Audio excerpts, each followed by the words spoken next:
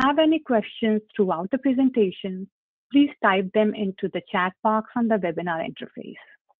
We will be answering questions at the end of the staff presentation to ensure everyone has a chance to hear the presentation first. The best audio is generally found through the phone. Call-in number is listed at the top of the webinar box. You can call in from your phone and enter the PIN provided to listen. Please try the phone connection if you have any trouble with the computer audio. This slideshow can also be found on the SORE website which was linked in the webinar notice. Today's workshop will consist of a staff presentation lasting approximately 45 minutes, followed by a question and answer session. The workshop is scheduled to conclude at 12 p.m. Pacific Daylight Time. The staff presentation has three main areas of focus, background on SORE emissions and the need for regulations, comments and alternatives that were received and considered by staff in response to the June 2020 workshop will also be discussed, and we will cover draft updates to the SORE regulatory proposal. Please note that potential amendments to the regulatory text and test procedures are also posted on the SORE website for your review. I will now turn it over to Chris to begin the staff presentation. Thank you, Chris.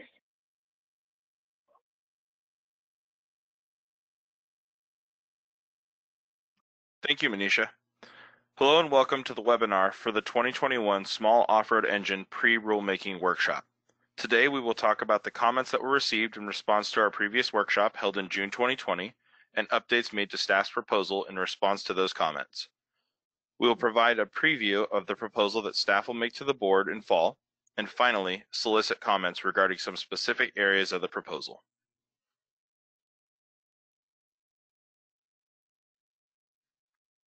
Today's workshop is the third public workshop to discuss amendments to the Small Off-Road Engine or SORE regulations. We have held two workshops prior to this one, one in September 2019 and one in June 2020. During each of these workshops, we solicited feedback from the public regarding potential amendments to the regulations. Once again, we will be soliciting feedback in response to some elements of the potential regulatory proposal that we will present today. Any potential changes to the SORE regulations that we are discussing today have not been considered by the board. Any proposed changes we will be presented to the board to decide whether to adopt after the required notice, public comment period, and any required analyses have been presented to the board. We intend to propose amended regulations to the board in fall of this year.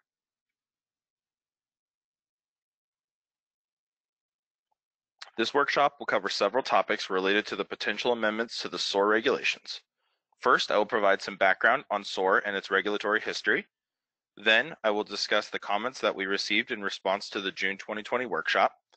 Next, I will cover the governor's recent executive order and the feasibility of zero emission equipment in today's market. Finally, I will discuss an updated potential regulatory proposal and the rulemaking process.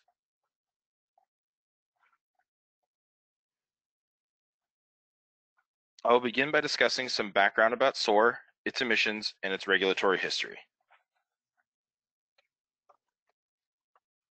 Small off-road engines, or SORE, are spark ignition engines rated at or below 25 horsepower.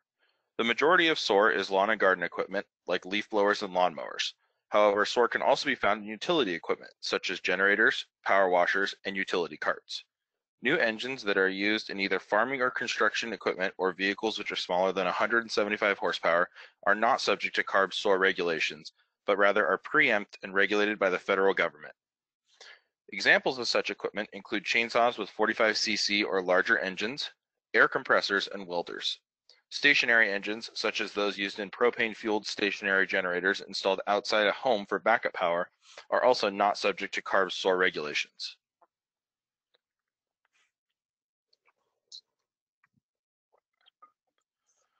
Emissions from SORE occur both while operating and not.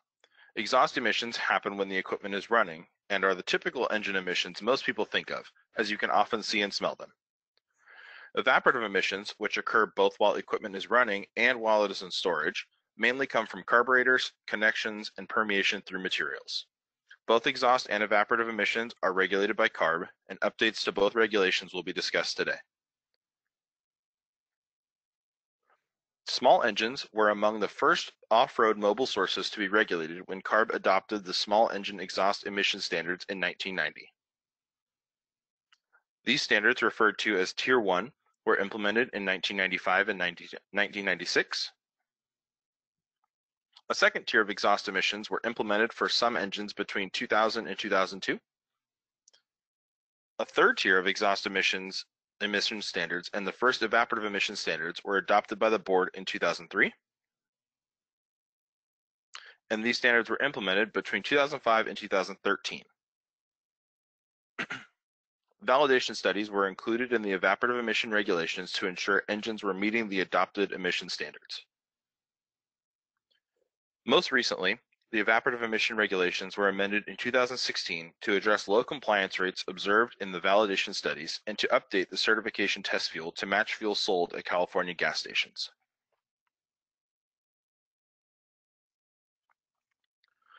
This slide is probably familiar to many of you. However, this has been updated to reflect the most recent data that is available. For those of you who have not seen it, this shows a comparison between smog-forming emissions from SORE and those from light-duty passenger cars.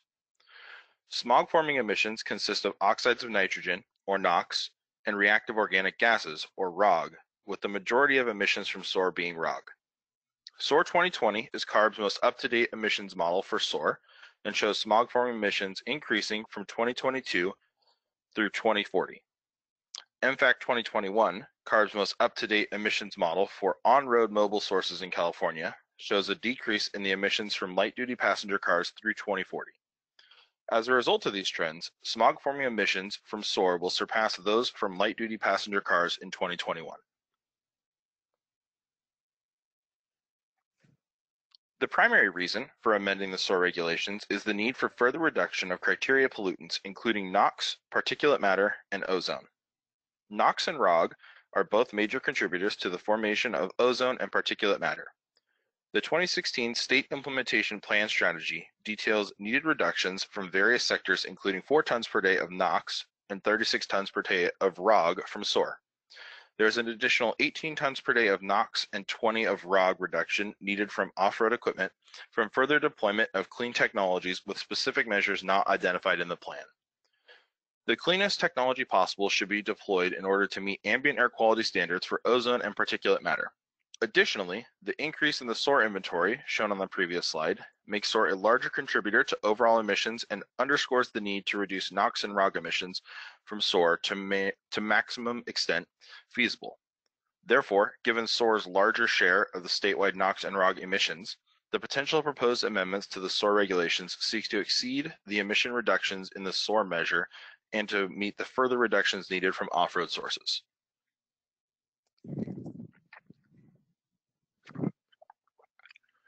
Next, I will talk about the governor's executive order that has been issued since our previous workshop. On September, September 23rd, Governor Gavin Newsom issued an executive order that sets goals for transitioning on and off-road vehicles and equipment to 100% zero emissions in California. Additionally, the executive order addresses the need for the state of California to act more quickly and move toward a low carbon, sustainable, and resilient future.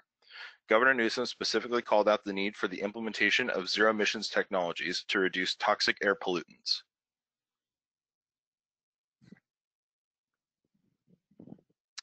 While the executive order is large in scope, Section 2 specifically orders CARB to develop and propose strategies to achieve 100% zero emission from off-road equipment in the state by 2035.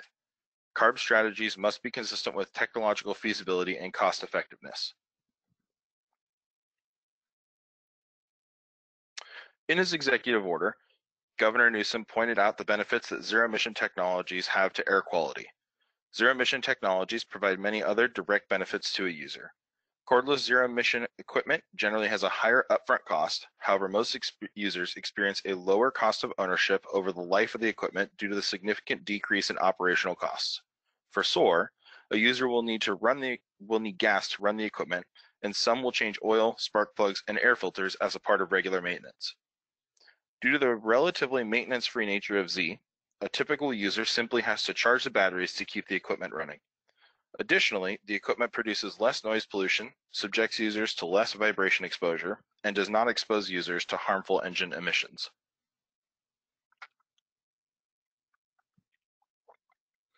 Next, I'll be talking about the feasibility of a transition to zero emission equipment.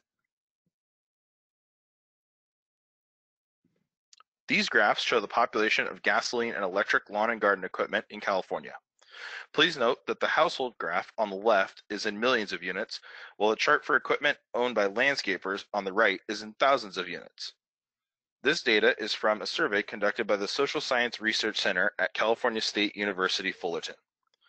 The group at CSUF conducted a phone survey of households, businesses, and landscapers in California to give CARB a clear picture of what equipment is in use in California. The survey was comprised of questions developed in collaboration with CARB staff, the Social Science Research Center at CSUF, industry, and other stakeholders. Based on historical trends identified in CARB's emissions inventory modeling, the residential ZEE market appears to be an ever-growing market. According to CARB's SORE 2020 model, in 2016, there were approximately 15.1 million units of residential ZEE in California. That number has climbed to approximately 18.4 million units, million in-use units of residential ZEE at the end of 2020. This population increase has led to a fleet ZEE percentage of 71%. Additionally, there are currently at least 25 brands that produce ZEE in each of the major categories. Also, based on historical trends identified in CARB's emissions inventory modeling, commercial users have not transitioned from SORE to ZEE to the same extent as residential users. From 2016 to 2020, the population of commercial ZEE has gone from approximately 342,000 units to 414,000 units. While this increase in population is significant, it only represents 0.5% of the commercial small off-road equipment fleet. There are currently at least eight brands that produce commercial grade ZEE in each of the major equipment types, with more being developed.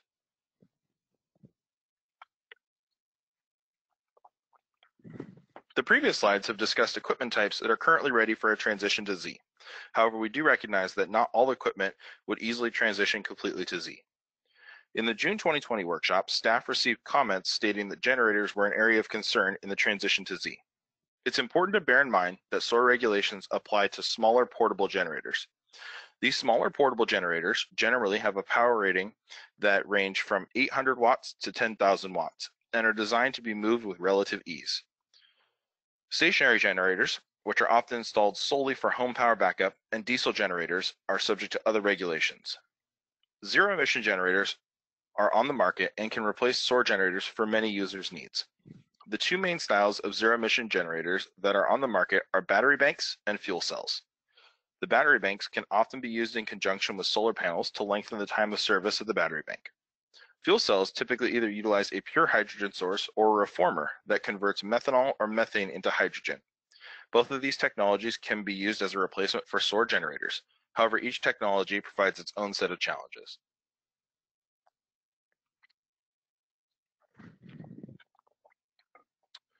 The two main challenges that zero emission generators face are the higher purchase price and the ability to refuel or recharge. Staff recognizes that the purchase price for a zero emission generator can be higher. However, there are many ways that one can use a zero emission generator to help recoup the cost increase. Operating costs for zero emission generators are significantly lower than those for SORE generators. One way to recoup the initial costs is charging the zero emission generator when power is cheapest and then using the zero emission generator as a supplemental power source for certain devices in a home when power is most expensive. Second, many consumers do not know the details of their actual power requirements and may buy a generator that is oversized for their needs. With a gas powered generator, this presents a marginal cost increase, but with a zero emission generator, cost scales very closely with power, so buying the appropriate sized zero emission generator can create real cost savings. The other main challenge for zero emission generators is refueling or recharging during a power outage.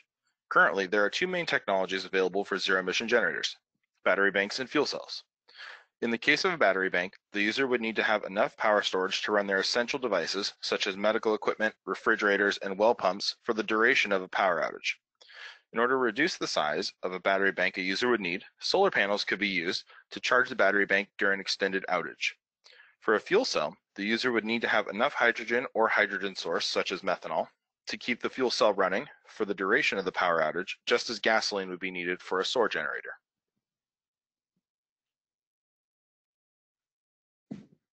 In 2012, the California Public Utilities Commission gave power companies the ability to shut electric power off to protect public safety in the event of strong winds, heat events, or other related conditions. This was the introduction of the Public Safety Power Shutoff, or PSPS, concept to California residents. In 2019, PSPS events resulted in 100 total days of de-energization with an average duration of just over five days. In 2020, PSPS events resulted in 80 total days of de-energization with an average duration of just over three days. While these data are for two years, regulators and utilities project PSPS events will be less frequent and when they do happen, shorter. As these events become less frequent and shorter, the need for portable SORE generators for home backup power will be reduced, and the need for ZEE generators for use during home P or during PSPS events will be reduced. As I mentioned on slide five, CARB's SORE regulations do not apply to stationary generators, and amendments to the regulations would not affect these stationary generators.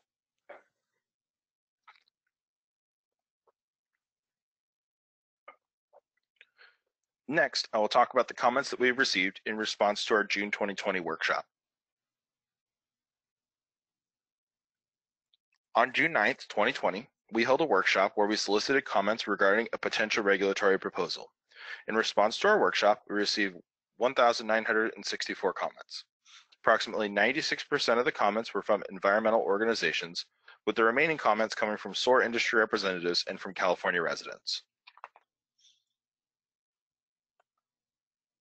First, I will discuss the comments that we received from environmental organizations. We received a total of 1,894 comments from these organizations. Sierra Club members submitted 1,880 comments. Many of these were similar and some included different requests or information. The general theme of comments received from environmental groups was to transition to ZEE for all equipment types in 2023 or as soon as we are able. The comments cited various reasons for the transition, such as health concerns, noise, and dust concerns. The second group of comments that I will discuss is from the SORE industry. We received 15 comments from different industry organizations. In general, these comments were largely supportive of a direct transition from SORE to ZEE without the implementation of interim standards. Additionally, some SORE industry representatives commented that they were opposed to extending the emissions durability period for engines to the levels that were presented in the June 2020 workshop. Finally, some in the SORE industry expressed concerns regarding generators and pumps, citing that those tools are often used in situations where electricity is not readily available. It should be noted that pumps with 40cc or larger engines are preempt and not subject to CARB SORE regulations. Similarly, stationary generators are not subject to CARB SORE regulations.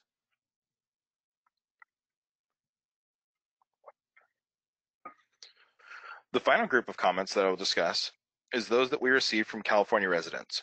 We received 55 comments from California residents. Residents expressed a need for engine-powered generators for home power backup. Additionally, residents expressed the desire for greater incentive program availability to assist in the transition from SORE to ZEE. Finally, some residents wanted to ensure that any, any battery waste associated with a large-scale transition to battery-powered equipment would be properly recycled. In this section, I'll be discussing specific comments and alternatives that we received in response to our June 2020 workshop and how staff has updated the proposal as a result of the comments staff received and staff's evaluation of the alternative proposals. After the June 2020 workshop, staff received comments that the transition to ZEE should be made as soon as possible. This alternative was evaluated by staff and it was determined to be not feasible for all equipment types. Additionally, staff received comments that there should be no interim emission standards between the current standards and the setting of the standards to zero. In response to these comments, staff's plan to propose that all standards for SORE, except for generators, be set uh, to zero for model year 2024. This is the earliest date of implementation that staff can propose, and this eliminates the interim emission standards for non-generator SORE that were proposed in the June 2020 workshop. Staff also received comments stating that generators were not currently ready to transition to ZEE. This alternative was also evaluated by staff. Staff recognized that additional time for generators to transition to ZEE would be helpful for market development. In response to this alternative, staff updated the proposal to set emission standards for generators to zero four model years later than for other SORE. Finally, staff received comments stating that the emissions durability periods that were proposed in the June 2020 workshop were not feasible. Data from the CSUF survey and engine user manuals suggest that engines are operated beyond the current emissions durability periods. Nevertheless, staff recognize that ensuring engines meet the emission standards beyond the current emissions durability periods could require significant costs. The updated emissions durability periods are the longest of the currently available durability periods for each engine class. The new durability periods represent extended operation, and there is equipment that are certified to these periods. The updates that were made to the potential staff proposal are a result of the evaluation of the alternatives that were proposed to staff. Based on the analysis to date, the proposal is the most cost-effective and least burdensome of the suggested, alternative provisions.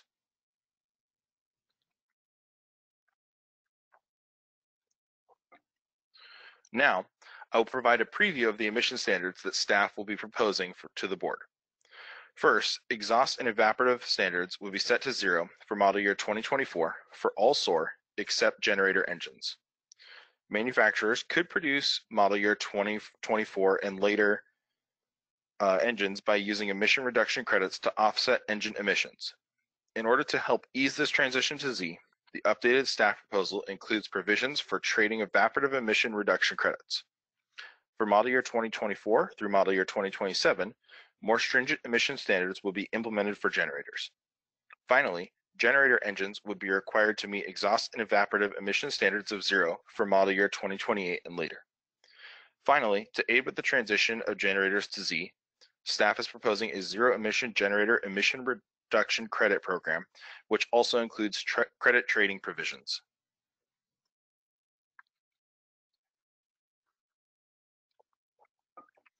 In the previous slide, I discussed the model year 2024 through 2027 emission standards for generator engines. This table shows the exhaust emission standards that staff will be proposing. For generator engines with displacement less than 225 cc, the emission standard would be 6 grams per kilowatt hour. For generator engines with displacement between 225 and 825 cc, the emission standard would be 3 grams per kilowatt hour. Finally, for generator engines with displacement greater than 825 cc, the emission standard would be 0.8 grams per kilowatt hour. The standards that we will be proposing to the board are based on current certification level of existing engines.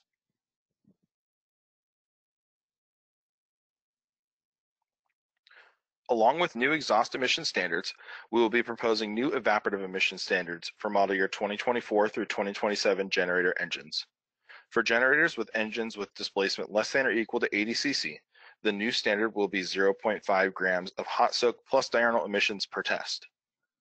For generators with engines with displacement between 80 and 225 cc, the new standard would be 0.6 grams of hot soak plus diurnal emissions per test. Finally, for generators with engines with displacement greater than or equal to 225 cc, the new standard would be 0.7 grams of hot soak plus diurnal emissions per test. The emission standards would apply only to model year 2024 through 2027 generator engines, and these standards are based on certification levels of existing equipment. As a result of SAF's proposal, in 2035, CARB's staff initial estimate is that 94% of equipment subject to CARB's SORE regulations would be ZEE in California. While the governor's EO states a goal for emissions from off-road equipment to be zero in 2035, the SORE equipment lifespans vary greatly depending on the equipment type, with some equipment lasting over 20 years. Additional strategies may be needed to transition the remaining equipment subject to CARB's regulations and preempt equipment regulated by the federal government to ZEE by 2035.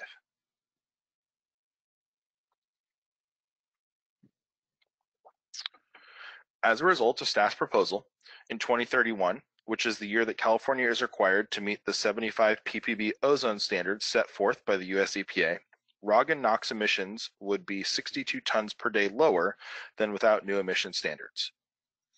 In 2037, which is the deadline for extreme non-attainment areas in the state of California to meet the 70 ppb ozone standards set forth by the US EPA, ROG and NOx emissions would be 88 tons per day lower than without new emission standards. While the previous slides show areas of the proposal that staff are intending to present to the board, The following areas are still under development and we are still looking for input from stakeholders. The specific areas of the proposal about which staff are especially interested in comments and alternatives are the zero emission generator credit provisions, the, the repeal of the variant section, elimination of design certification, and updates to the test procedures. As previously stated in this presentation, staff will be proposing zero emission generator credit provisions to facilitate the transition from solar powered generators to zero emission generators. This program is intended to accomplish three goals. The first is to provide a market signal to encourage growth in this sector. Growth in this sector has been relatively slow. However, with recent technological advancements, zero emission generators are providing more power and becoming less expensive to purchase. This program must also remain technology neutral to encourage innovation. Finally, this program should incentivize the early transition from SORE generators to zero emission generators, encouraging both consumers and manufacturers to embrace zero emission generators.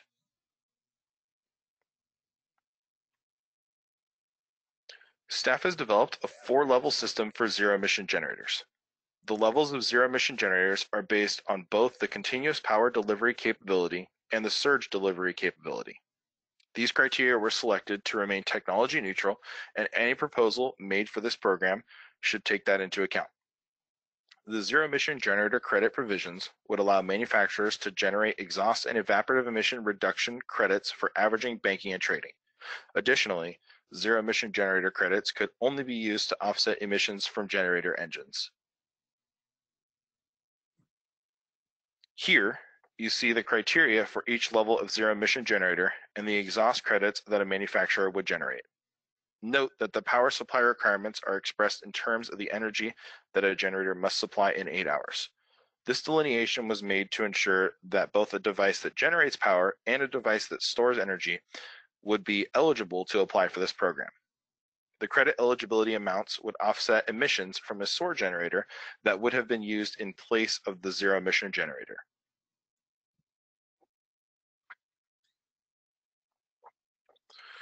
This table shows the evaporative credit eligibility for each level of zero emission generator. It should be noted that level 1 and 2 zero emission generators earn the same amount of evaporative credits. Level 3 and 4 generators also earn the same amount of evaporative credits. As with the exhaust credits, the credit eligibility amounts would offset emissions from a SORE generator that would have been used in place of the zero emission generator. Staff is also considering the repeal of the variance section that currently exists in the evaporative emission regulations to coincide with the effective date of any approved amendments.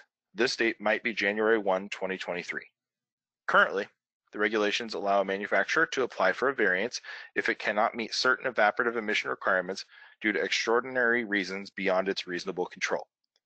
Since the new emission standards will be set to zero, staff do not expect that a manufacturer would not be able to meet the standards for extraordinary reasons beyond its reasonable control. The repeal of this section would ensure equity for all manufacturers and prevent the introduction of non-compliant engines into commerce. Another element of staff's proposal is the addition of credit trading provisions for evapor evaporative emission credits. We expect this would alleviate the need for any variances.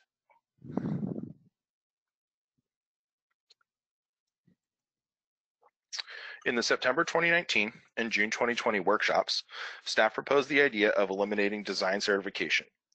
In the June 2020 workshop, staff requested data showing what design standards would result in equipment that would meet new emission standards. Staff did not receive any data demonstrating the efficacy of any design standards, so once again, staff is requesting the submission of data supporting design certification for generator engines. To ensure that the data that is provided is usable, we request emission data for evaporative emission control system components and complete engines tested using CARB test procedures. If we receive data demonstrating that design standards can be used to create compliant equipment, then CARB may propose keeping the design certification option for generators for model years 2024 through 2027.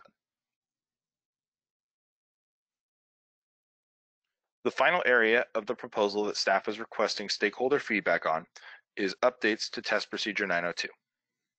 In the September 2019 and June 2020 workshops, staff discussed the addition of a tilt test for equipment in TP 902.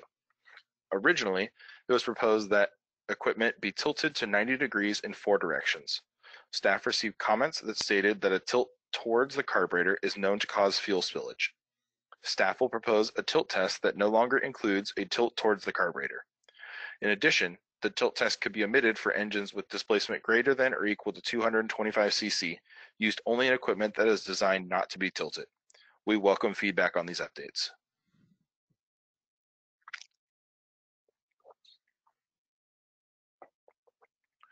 As a quick recap, staff's proposal will transition new sales to ZEE by implementing emission standards of zero for all SORE except generators for model year 2024, with generator emission standards being set to zero for model year 2028. Other elements of staff's proposal include the zero emission generator credit program, the repeal of the variant section, elimination of design certification, and updates to the test procedures. These topics are marked by asterisks, and we are specifically requesting feedback for staff's consideration on those topics marked by asterisks as we finalize our proposal for the board. Finally, I'll discuss the rulemaking process, including next steps. CARB staff are committed to making the rulemaking process open and transparent. We ask stakeholders to engage with us and express their thoughts on the potential rulemaking.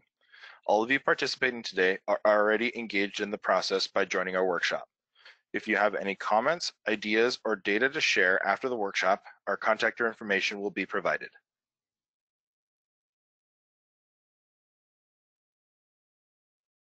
I showed a timeline similar to this on slide two, but I want to remind everyone of the timing for our process. We would like to receive any comments on the regulation amendments discussed today and available in full on our website by April 8th. We welcome comments on any aspect of what we presented today, especially the topics where specific feedback was requested. Your comments will allow us to develop our final regulatory proposal to propose to the board this fall.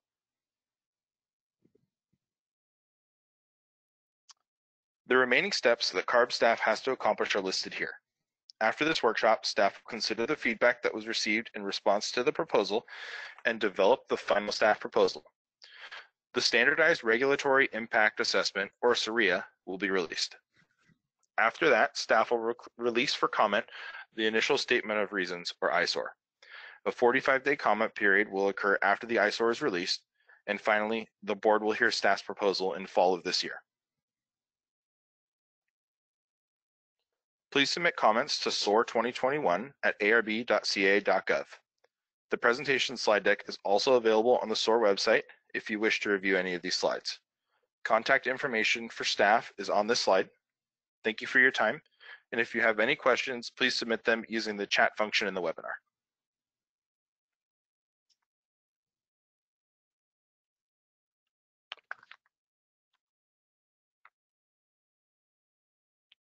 Thank you, Chris. So I will get started um, taking Q&A in the, um, the questions um, option you have to submit. Um, and I will start off with the first question from Greg Mitchell. So Greg asked, small off-road engines, SORE, have been our focus up until this point to reduce California's emissions inventory. Now that elimination of these SORE is being considered as the next step the focus needs to be redirected to the actual devices that these engines are found on and the amount of power, kilowatt hours, these devices require. Many types of construction equipment, fire and life safety devices, agricultural machines, etc., require more power, 10 to 25 and greater horsepower, over long periods of time, 24 hours plus, to be effective.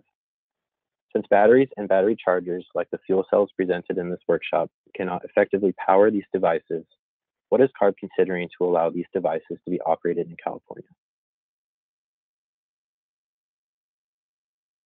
Thanks, Matt. This is Dorothy Fadiger with ARB. Um, this is a great question. Um, and in fact, most of these devices that you refer to are what are called preempt devices. So uh, preempt devices are non-road engines or vehicles um, under 175 horsepower, which are used in construction equipment or vehicles or used in farm equipment or vehicles. Um, these devices are not subject to CARB regulations. They're covered by US EPA regulations, and so they wouldn't be subject to these new SORE regulations. In addition, um, fire and police departments and other entities that specialize in emergency response may purchase emergency equipment powered by a non-California certified engine uh, when such equipment with a California certified engine is not available. Um, and that's done uh, through approval um, by the executive officer. Thanks, Dorothy. The next question is from Patrick Waters. Patrick asks, thanks for allowing the opportunity to comment regarding slide 27. The proposed changes to the regulatory proposal for generators are not currently ready to transition to ZEE is set emission standards for generators to zero for model year 2028 and implement a zero emission generator credit program. How does CARB know that zero emission portable generators with capabilities similar to today's SORE models will be commercially available in the specified timeframe? This could deprive the people of California of potentially life-saving products. Thanks, Patrick. Um, we know that they will be available because they already are available. There are zero emission portable generators available today that will back up um, a refrigerator and a laptop um, and cell phones for uh, over two days. Um, they're listed at 55 hours right now is the largest one I've seen. Um, so they exist now. What we view as not being quite ready at the moment is really the market more than anything else. Um, so what we're giving is time for the market to really make that transition um, and for there to be more zero emission generators available um, and have that availability be more widespread.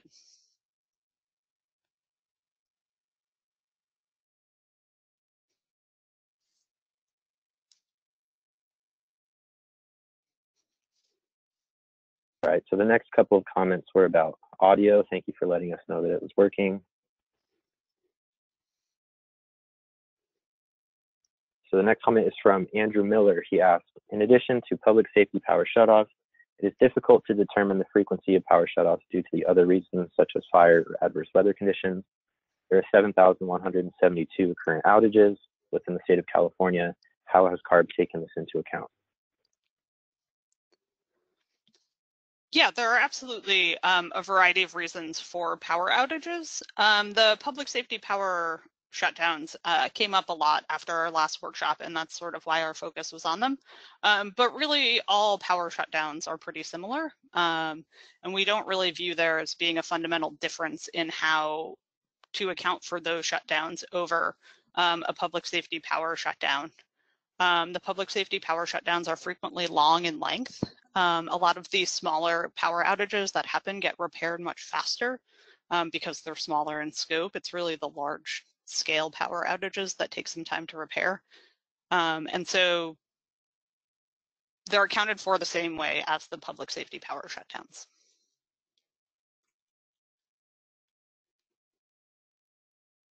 Our next comment is from Sri Kanchi Botsla.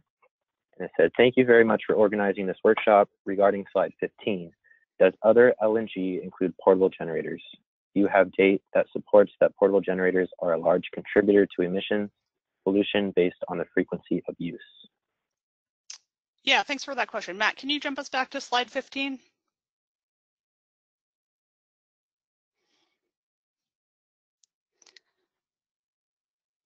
Um, so no, portable generators are not included in this um, graphic. This graphic is only about lawn and garden equipment uh, portable generators are part of what we term light commercial equipment, which includes other equipment like power washers, um, some compressors, some other equipment.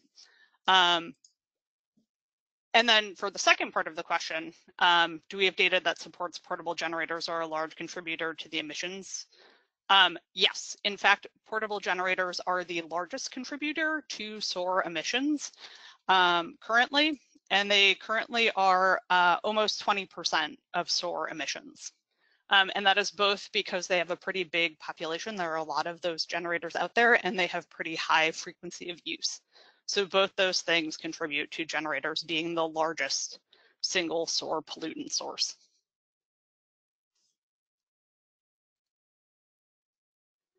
All right, the next question is from Brandon Schmidt. I appreciate the time that CARB staff has taken to review questions and provide feedback during today's workshop. Can staff please explain the meaning of power supply requirements of exhaust emission credits for ZEE generators? For example, for a level one zero emission generator, does the generator need to provide 2.5 kilowatt hours over a time frame of eight hours without recharging? I'm sorry, I've scrolled down. Or replacing the batteries or other power source. Yeah, I can go ahead and take this question. Um, first of all, thank you, Brandon, for the question. Um, currently, the the way that the levels are set up is supposed to be um, a total power delivered over um, a total time. Um, and again, like I mentioned in the slides, this was kind of selected um, in order to remain technology neutral. Um, a battery, like if, if you were to go a battery bank route, um, then it would have a finite amount of power unless you had recharge or battery replacement um, available. Um, but like this example, two and a half kilowatt hours over a time frame of eight hours would be a little bit uh, more than 300 watts per hour. Um, so I think the idea here is just some sort of a total uh, power dispersed over uh, a total time. And again, this is just to remain technology neutral.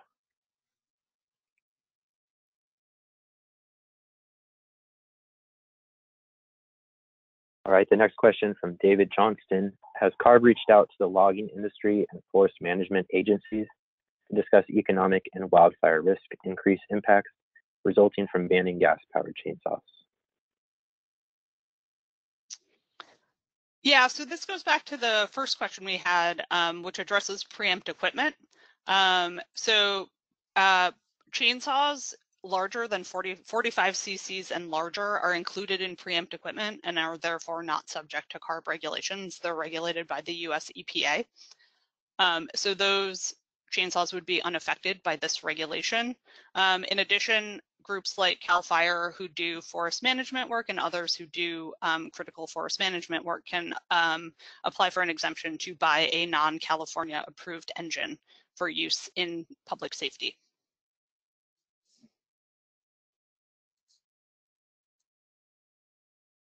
Next comment is from the question from Mina Atta. Mina asked, thank you for holding this important workshop session. Slides 29 and 30, can you provide data that are proposed that the proposed emission standards are feasible for portable generators without putting additional cost burdens on consumers? The slides indicate that they are based on certification levels of existing engines, based on certification levels of existing engines used on portable generators. And I will go to the slide. Yeah, thanks for that question. Um, the cleaner portable generators are more expensive. Um, how much more expensive varies a little. Um, they are the and the standards are based on engines used both in portable generators. So there are portable generators that meet these standards already, and there are also additional engines that meet the standards that are used in other equipment.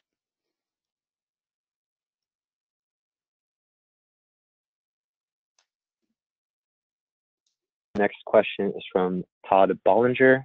Please include that emissions credits, including EVAP, can be used to sell ICE beyond 2024 model year.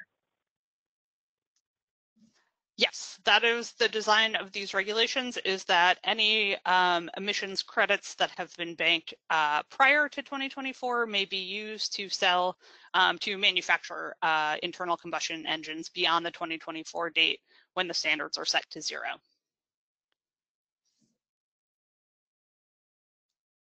And we have David Johnston.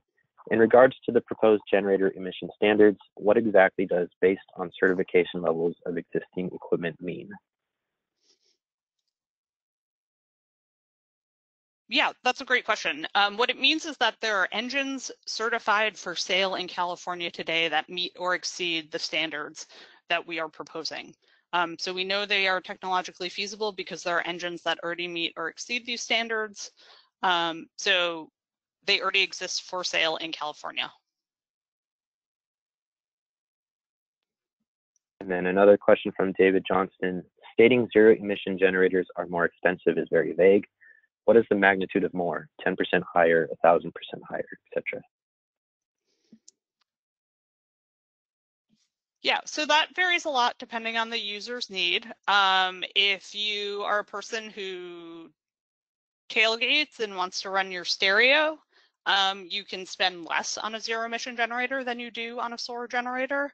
Um, the largest uh, portable, uh, nope, that wasn't true. Uh, there are portable batteries that vary a lot um, in price today. Um, so they can be I would say up to 10 times more expensive than solar generators, but it varies a lot on your needs. It also depends on what solar generator you're comparing to. Um, so it can vary from cost savings to um, about 10 times the price. Um, and this is why it's really important for consumers to be informed and know what their power requirements really are um, and figure out what they really need and to buy the minimum backup generator that will fit their needs.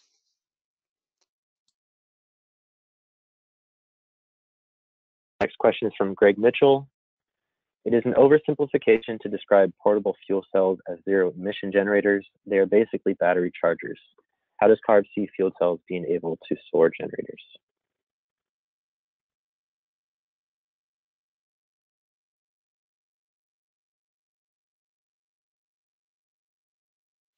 Yeah, I can go ahead and address this. Um, portable fuel cells uh, are a zero emission technology that can produce power.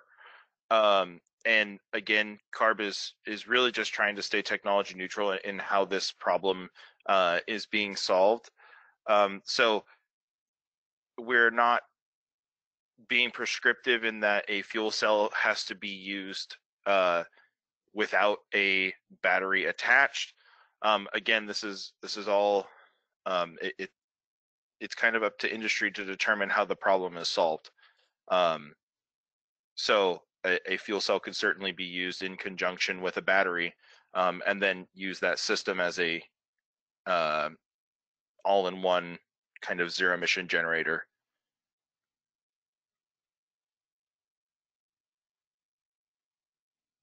Next, we have a question from Sarah Samurai. Can credits generated prior to 2024 model year be used to offset engines produced in 2024 model year and later? If so, is there a date that this will no longer be accepted? Can ZEE credits be used for engines and generators 2024 model year and later? If so, is the date that this will no longer be accepted? Can credits generated prior to 2024 model year be used to offset engines produced 2024 model year and later? If so, is there a date that this will no longer be accepted? Can ZEE credits be used for engines and generators 2024 model year and later? If so, is there a date that this will no longer be accepted? Yeah, these are great questions about the uh, credits, and the answer is yes, the credits may be used um, in 2024 model year and later. The only date after which the credits will not be accepted is once they have expired. So all credits in the SORE regulations currently um, have a five-year expiration date. So after five years, those credits expire. And so after that point, they would not be um, accepted. But anytime prior to that, those credits would be accepted, whether they are generated um, from cleaner gas engines or if they are ZEE credits. Um, the only difference uh, in the ZEE generator program that we have proposed here is that those ZEE generator credits can only be used uh, to offset emissions from generator engines. All other credits that have previously been earned or would be earned um, through model year 2023 could be used to offset emissions from any equipment type.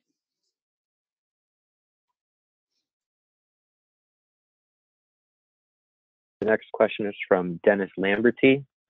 To address slide 19, since CARB is recognizing the challenges associated with zero emission portable generators, why is CARB moving forward with mandating them in the proposed regulations?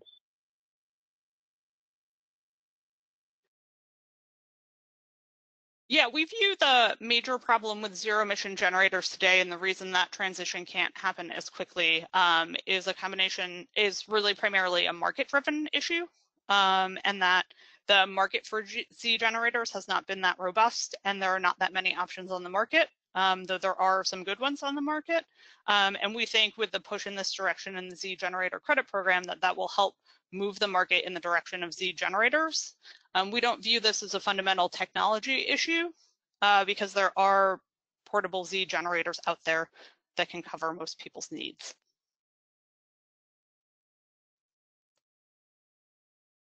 Okay, we had another question from Sarah Samurai. Sarah, I think um, that question was a repeat. If it wasn't, please submit it again. But the next question was from Callie Medine. Could you please repeat what you mentioned regarding the use of credits for SORE equipment, except generators, after 2024? Yeah, so there are current SORE um, credit programs in place where manufacturers can earn credits um, for making engines that are cleaner than today's standards. They can earn emission credits offsets for that. Um, they can also earn credits by making zero emission equipment that meets certain standards um, that uh, is essentially uh, commercial grade zero emission equipment. Um, and those credits have an expiration date of five years. So any credits that are earned that are still good 2024 and beyond may be used to make gas powered engines. Um, they need to be sufficient to offset versus a, um, a standard of zero. So they need to offset whatever emissions occur above the standard of zero.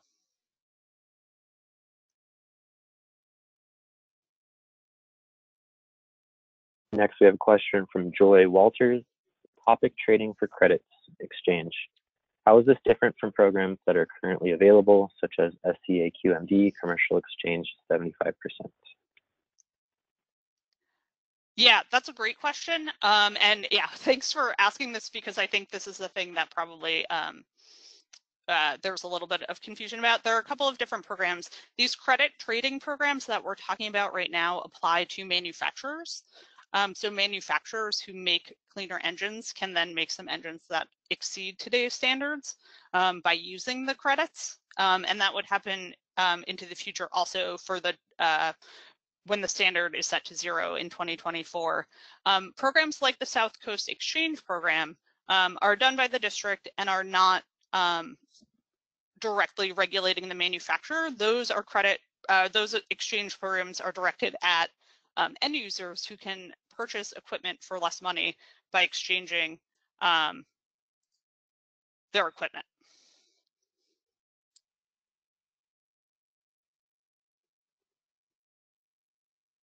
Okay, next we have a question from Laurel Moorhead.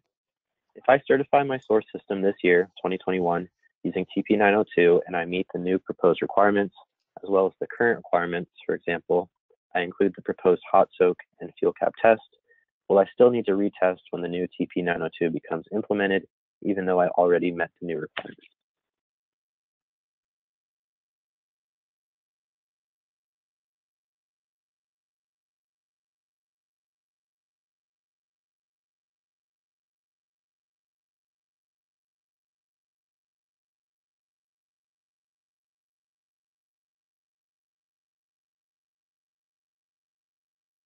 Matt, can you repeat that question, please?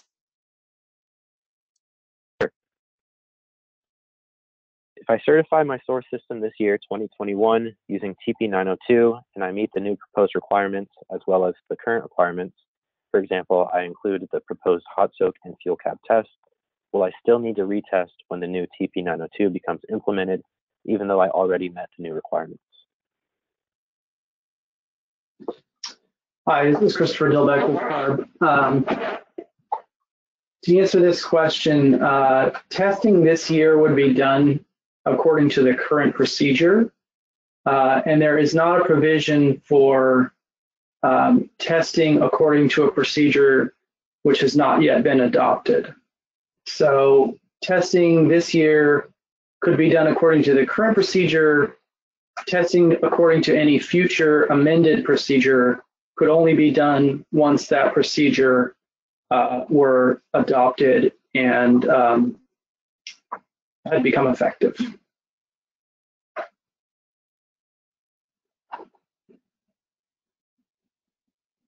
Next, I see that Denise Bulbul has two questions. Uh, we'll get to those in the order they came in. Denise, there's a couple that came in between. So first we have Eric Williamson. Eric asked, with 0.5% adoption rate of ZEE among landscapers who are predominantly small business with revenue less than $100,000, has CARB considered how a transition to more expensive ZEE will impact the landscaping industry?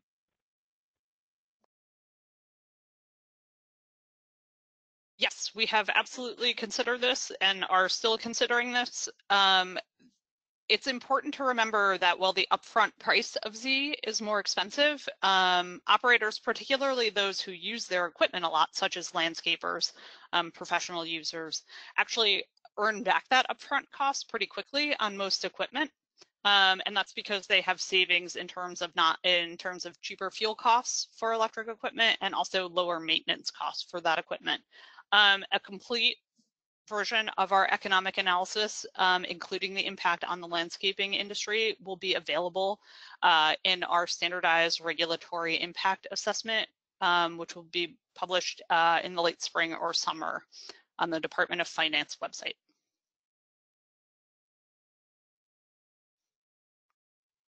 Next, we have John McKnight. Some marine watercraft have stationary generators for operation underway. Are these regulated under SORE?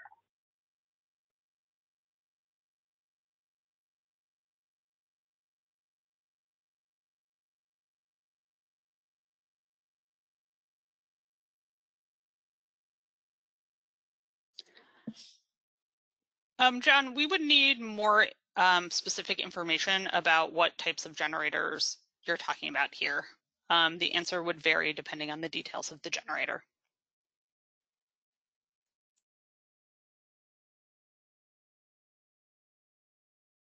Okay, Denise Bulbul, we have your first question. Will previous public comments received be considered in the current public comment opportunity, or do we need, or do we have to resubmit our comments to be considered?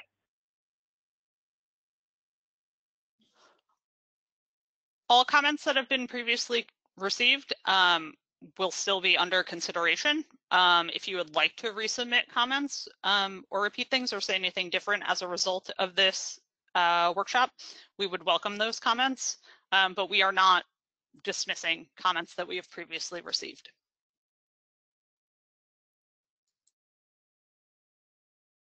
Okay, we have B. Mitter Miller. Will there be incentives for small business owners to transition to ZEE gardening equipment? Yeah, thanks for that question. Um, most incentives um, in California are done at the district level. Um, so it's good to check in with your district and see uh, what's actually available. Um, there are some of them are funded by the state, some of them are funded locally by various provisions. Um, so it can vary a lot by district about what's actually available, but they're administered by the district. We have a website that is arb.ca.gov slash ZEE um, for zero emission equipment. Um, and there's a link on there that will take you to the active incentive programs that we're aware of at the moment. You can also check your air district's website to see what programs are available. Um, so there are a handful of districts that have current um, commercial grade equipment exchanges um, that are available for small businesses. Uh, I know for sure that South Coast, Santa Barbara, and um, and San Joaquin are running them right now. Um, other uh, air districts have had them in the past and may have them again in the future. Um, and if you're looking for a district in particular to have them, um, it can be good to reach out to the district and let them know that there's interest.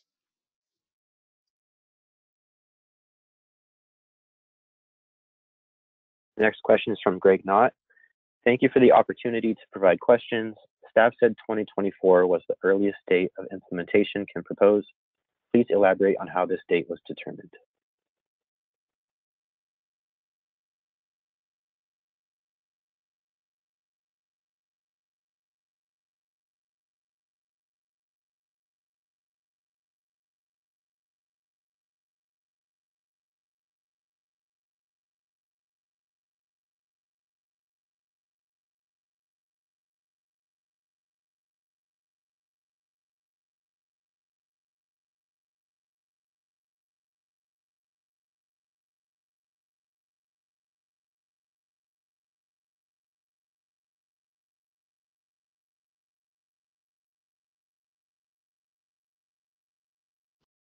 Hi, this is Christopher Delbeck. We're um, unmuting uh, Matt Kristen.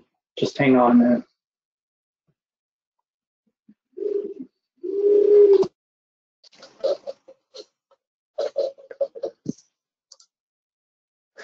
Yeah, hi, this is Matt Kristen with CARB. Uh, yeah, the, the Clean Air Act requires a two-year lead time for new standards uh, adopted by California. Um, so that's generally the, uh, the reason why we uh, selected 2024 as the earliest date. It's two years from the potential effective date of the upcoming regs.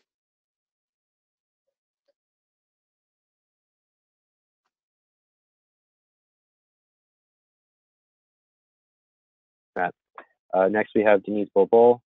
Could you explain why you separated out Sierra Club comments, given that they were likely individual comments submitted by Californians?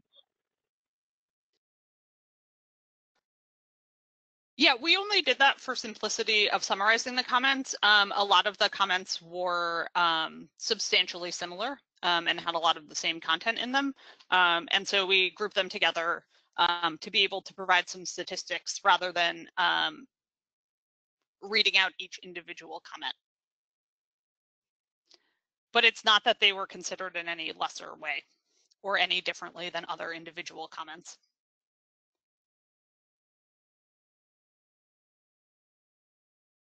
Next, we have a question from Umesh Shawala. In some cases, equipment manufacturers own evaporative certification. What does model year 2024 mean for engine manufacturer and equipment manufacturers who own evaporative certification? Also, is there a transition period for equipment manufacturers use the engines slash components that were built before 2024?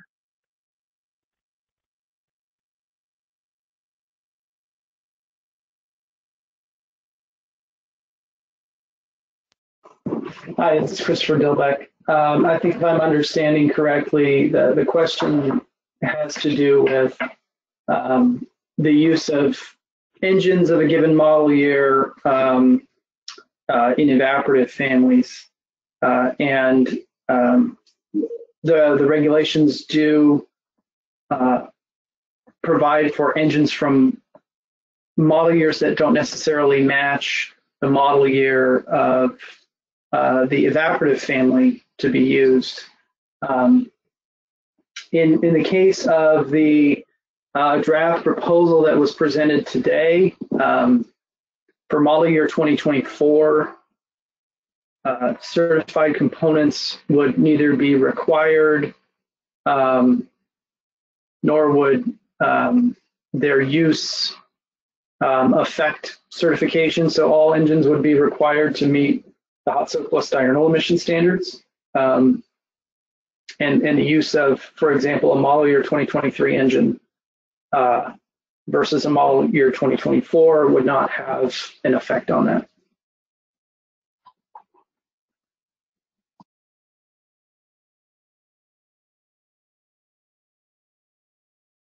Uh, Kristen, we're going to go back to you for a, response. Yeah, I just wanted to clarify. I meant uh, the date of adoption on Greg Knott's question. It's uh, two years from the date of adoption, which uh, put us at January 1, 2024. Considering we're going to be uh, the board will be considering this in the fall. So just wanted to make that clarification.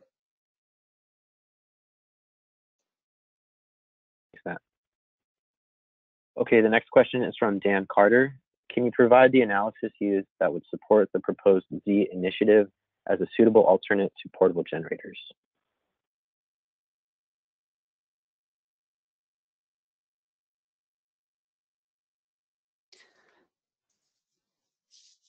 Yeah, we looked at um, what generators are used for generally um, and what the power requirements of those use are um, and what ZEE generators can actually fill those uses. Um, and so people are using them for home backup sometimes um, in emergency cases. Um, and in that case, they're really looking to back up things like a refrigerator um, and, you know, charge their laptop and phones and run simple things like that. Um, and so the ZEE generators are a suitable replacement for that. They also get used um, in camping sometimes um, and in other um, outdoor places where power is not available.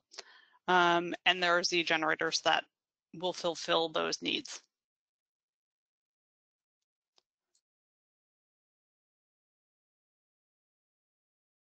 Next, we have Eric Smith. Oh, I'm sorry. Uh, Leaf person was, was one question before. Leaf asked, is there any concern about CO2 emissions?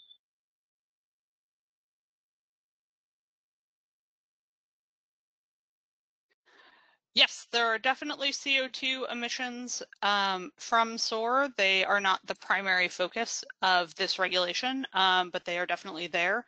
Um, and we view the CO2 uh, reductions that we would get from this um, as a bonus. Um, so currently, let me see, I have the number in front of me of current CO2 emissions from SORE. Yeah, current SORE CO2 emissions are uh, about 3,700 tons per day of CO2. Um, and so that would decrease uh, as all equipment subject to CARB SORE regulations is transitioned to zero emissions, um, and the remaining emissions uh, of CO2 would be from preempt equipment.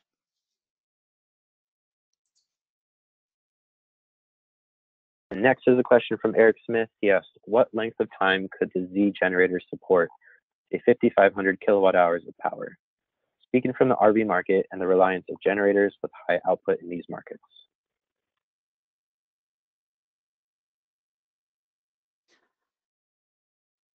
Yeah, I don't have that number off the top of my head um, or in front of me anywhere. Um, I don't know how long they would support um, 5,500 kilowatt hours of power. Um, there are higher power needs um, and there are bigger ZEE generators available. They are more expensive. Um, and also in the RV market, more and more campsites have plug-in places for RVs and don't require backup generators. Um, so I, I, would need to look up how long they could run 5,500 kilowatts.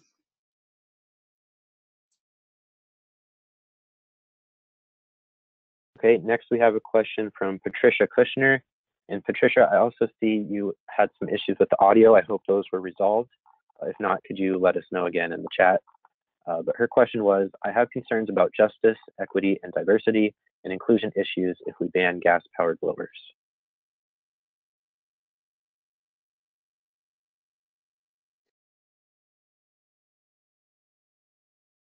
Yeah, I'm not sure exactly um, what the concerns are um, that you have. Um, if you could um, maybe elaborate on your concerns um, and ask a question about it. Um, I'm not sure exactly how to address this or what you're referring to as your concerns.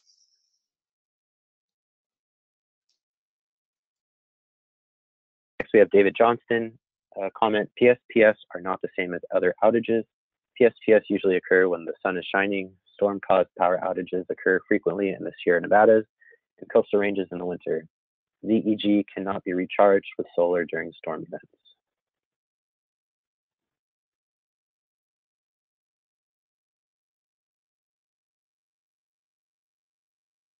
Um, yeah, that's a really good point. Um, that storms uh, do make solar recharge more difficult, um, but those storm power outages um, also uh, are not frequently as long as power, public safety power shutdowns, um, and there are backups available that will uh, run basic needs for over two days. Um, so uh, there are without, and that's without recharge, without any solar or recharge um, and those are available already. And then a lot of the houses in Sierras have um, installed stationary generators, and those are not subject to SORE regulations.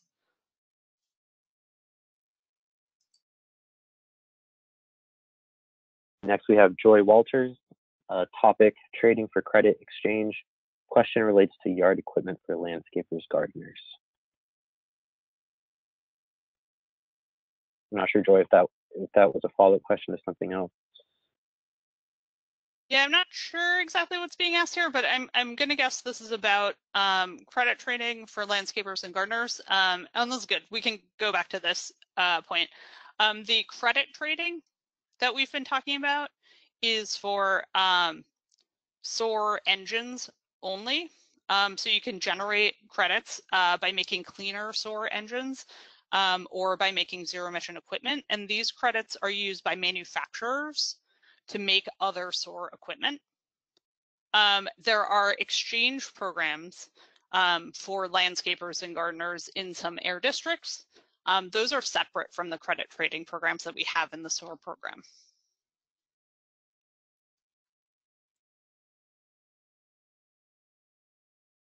Right, next we have David Peash. The emissions benefits assume the elimination of internal combustion SORE. In many situations, especially remote locations and or work sites, electric power is not readily available. This would necessitate remote recharging of source ZEE. Using an IC SORE generator would defeat the purpose and benefits of the ZEE. Would the use of an IC generator uh, to recharge a source ZEE be considered a defeat device and therefore illegal?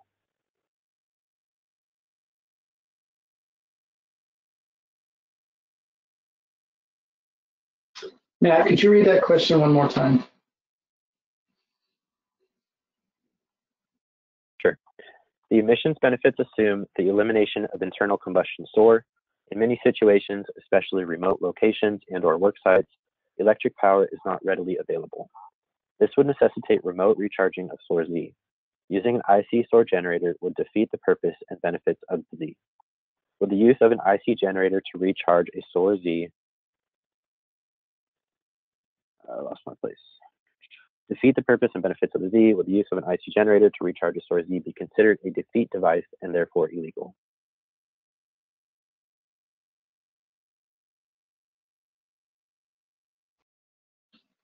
So the um,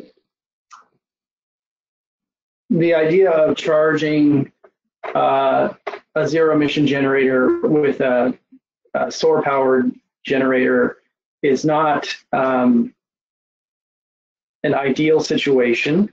Um, the regulations are um, for production uh, manufacture of new engines.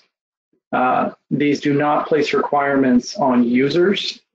So um, from an emissions perspective, charging a battery uh, with a gasoline powered generator is not ideal, and it's also not covered by the regulations.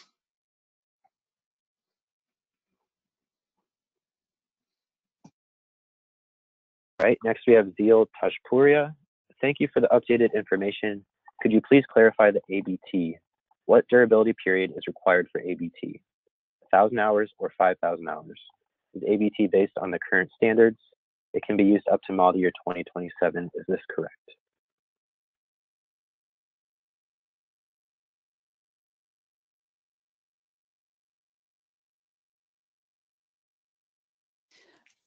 Uh, the durability period uh, for ABT and for certification depends on the engine size um, and varies by engine class. Um, so there's not a single answer to that. Um, Matt, can you repeat the question? I think I only answered part of it. Sure. Thank you for the updated information. Could you please clarify the ABT? What durability period is required for ABT? 1,000 hours or 5,000 hours? Is ABT based on the current standards. It can be used up to model year 2027. Is this correct? So ABT today is based on the current standards. When the standards of zero go into effect, then the ABT program would based on this be based on the zero standards that are in effect um, at that time.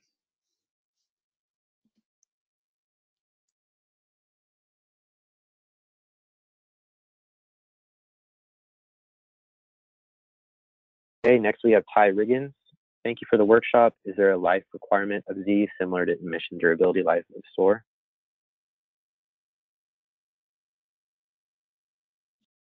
Uh, there, so uh, most ZEE is not regulated by CARB. There are op optional um, certification. There's an optional certification of zero emission equipment um, available for zero emission equipment um, if generate if manufacturers wish to generate um, credits for it, and there is a lifetime requirement on those equipment. Um, but other ZEE that is not certified by CARB does not have a lifetime requirement implemented by CARB.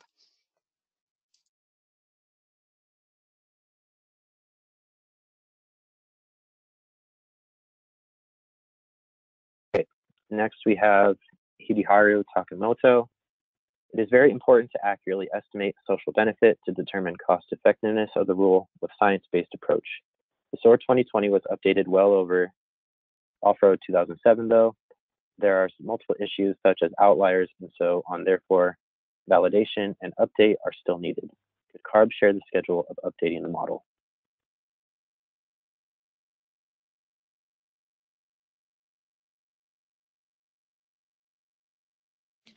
Uh, the SORE 2020 model that's available um, on CARB's website, along with documentation about it, is final based on the current data and test data available.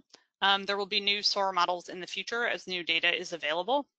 Uh, SORE 2020 establishes the baseline emissions for SORE and will be used to um, estimate the emissions benefits from the rule for SORE.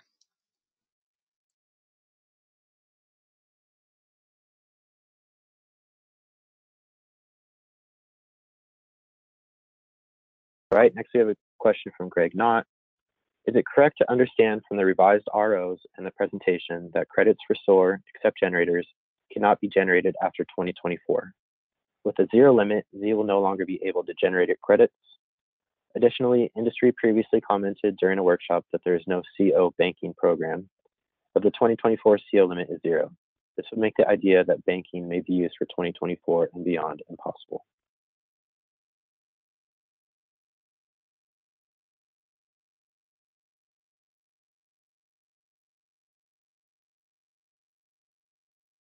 Um, I'll take the first part of that question from Greg. Um, it is correct that uh, credits could not be generated after 2024, um, aside from the generators. Um, once the standards are set to zero, credits are based on um, emissions that are lower than the standards that are set. And once the standards are set to zero, nothing including ZEE will exceed those, will be lower than those standards.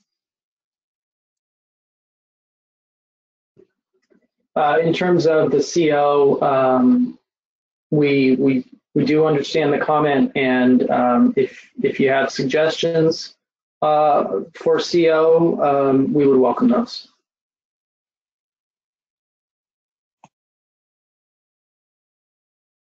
All right, next we have Lutz Kruger.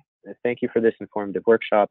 Looking for clarification if engines with 225 cc or greater attached to a pump for example, sewer cleaning equipment by means of high pressure would be exempt. Yeah, pumps are part of, uh, larger pumps are part of preempt equipment. So a pump um, with a 225 cc or greater engine um, would not be subject to these SORE regulations and would be regulated by the US EPA.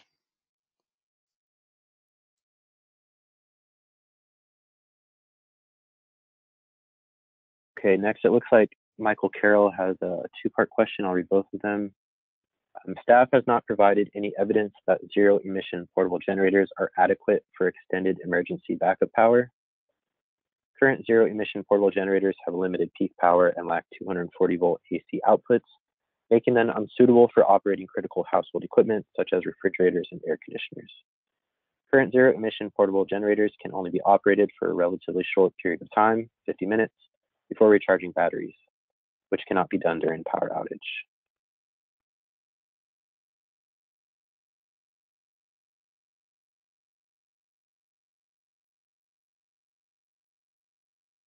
Um, I'm not sure um, where you're getting information that zero emission generators that are available now cannot be used um, for critical um, household equipment. Um, they certainly can be used for refrigerators now. Air conditioners are a big um, power drain and will drain a zero emission generator much faster. Um, and it's true they will not run as long. There are zero emission um, portable generators on the market that will run a refrigerator for several days. Um, those exist. Um, air conditioners are harder to run, but are also less critical household equipment.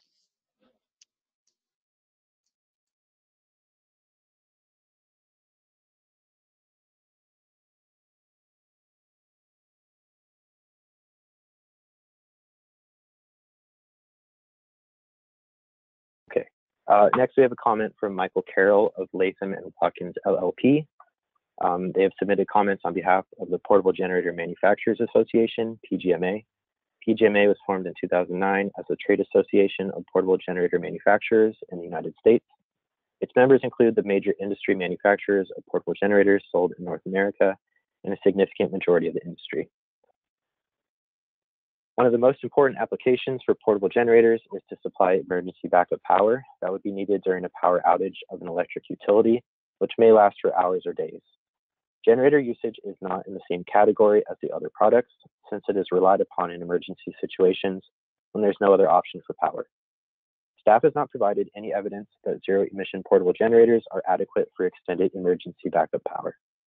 Current zero emission portable generators have limited peak power and lack 240 volt AC outputs, making them unsuitable for operating critical household equipment such as refrigerators and air conditioners. Current zero emission portable generators can only be used for a relatively short period of time, 50 minutes, before recharging batteries, which cannot be done during a power outage. These limitations cannot be overcome with current or reasonably foreseeable battery technology by using more or larger batteries. As explained in PGMA's written comments, sufficient replacement batteries for even a 24 hour period would cost in excess of $40,000. A single battery large enough to meet the same demand for just 24 hours would weigh in excess of 800 pounds. It is unclear how these options could be transported under current DOT regulations, these options would result in significant battery disposal issues. The presentation adds a new potential fuel cell generator alternative without addressing the important practical considerations such as lack of widespread availability, the development time for manufacturers, and costs to average consumers. Banning the sale of spark ignited internal combustion engine powered portable generators would put residents of California at risk during emergency situations. The inability to operate household appliances and medical equipment during a sustained power outage could have life or death consequences. If households were not able to remain safe on their own, this would place additional burdens on emergency responders during a crisis situation. The adverse impacts would fall disproportionately on lower and middle income households, since higher income households would have the option of an expensive, fully integrated stationary source of backup power. Banning the sale of spark ignited internal combustion engine powered portable generators would inhibit efficient construction on job sites which don't have access to stationary standby or utility power. For all the reasons above, it is illogical to make the equipment intended to replace power from the grid dependent on power from the grid. None of the proposals suggested in the staff presentation, such as temporary exemption, interim emission limits, or a credit program, address this fundamental problem. Regulating portable generators as proposed will put Californians at risk during emergency situations. PGMA therefore reiterates our request that portable generators be exempted altogether from the potential amendments to the SORE emissions regulations.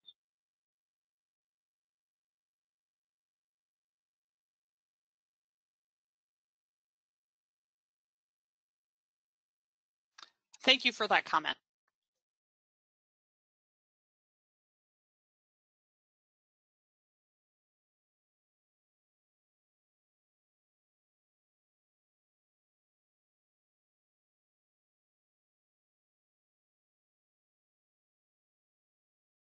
All right, next we have a comment or question from Sarah Samurai. The diurnal standard is 0.00 grams per day. For auto, the diurnal standard is also 0.00 grams per day. However, 0.0054 grams per day is acceptable. Can we expect the same or something similar for SORE?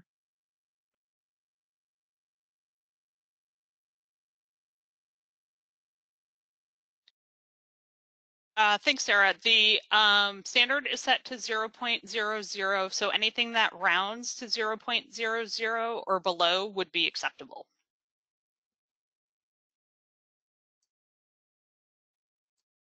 Next, we have Robert Stiegel. Is it not true that in 2024, if the standard is zero, credits can no longer be generated, so by 2029, all credits are gone? Uh, yes, that is correct, Robert. Um, credit credits cannot be generated once the standard is set to zero. Um, so new new credits other than the zero emission generator credits um, would be generated. Um, and so by 2029, all those uh, non-generator credits um, would be gone, would expire.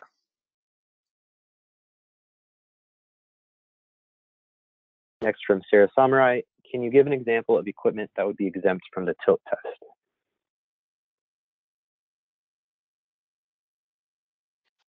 Uh, sure. I think the um, easiest answer to that is a riding mower um, would be exempt from the tilt test.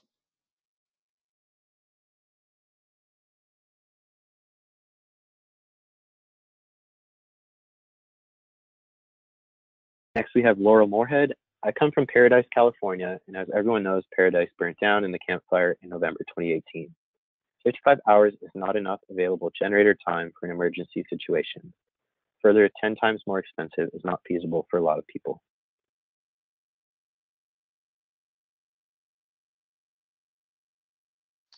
Uh, thank you for that comment. We will consider it.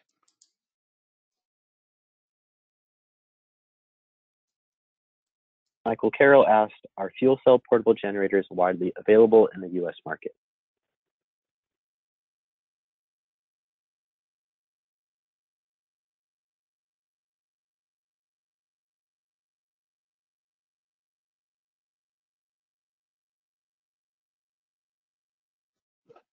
Hi, this is Christopher Dilbeck. Uh, to answer this question, are fuel cell portable generators widely available in the US market? That would, uh, portable being uh, an important word there, I think. In general, fuel cell generators uh, are widely available, and of course, um, many of them are larger. Uh, so some portable fuel cell generators are available, widely available, I think is a bit of a subjective um, things. So I, I, can't say whether or not they're widely available uh, for portable generators.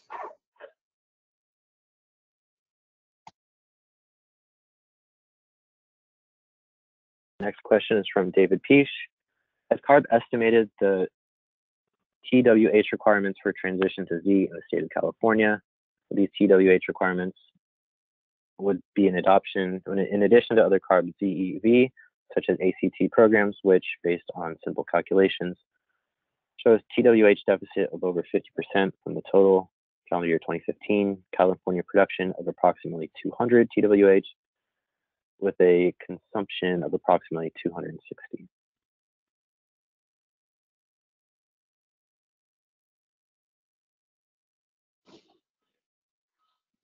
I think this is this is getting at uh, to total electrical demand in terawatt hours, um, and um, we don't have those numbers um, at hand, um, so we we can't say what the increased um, potential demand would be.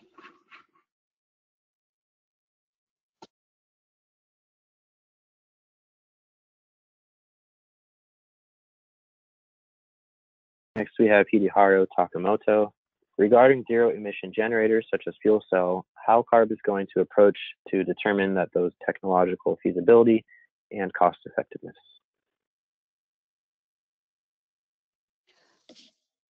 Yeah, so we approach approach technological feasibility and cost effectiveness this uh, the same regardless of equipment type. Um, technological feasibility is is there technology out there um, that can do the job um, at either lower emission standards or at a zero emission standard. Um, cost effectiveness is based both on upfront cost of the equipment as well as operational costs. So that includes both fueling or recharging for electrical equipment, um, as well as uh, maintenance costs of the equipment.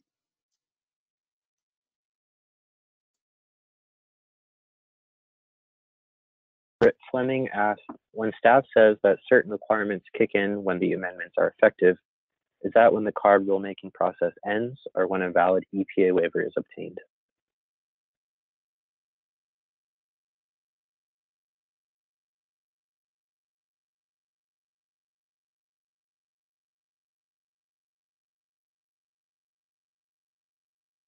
Yeah, thanks for that question. Yeah, there are certain uh, requirements that will kick in uh, once the, the rulemaking process ends.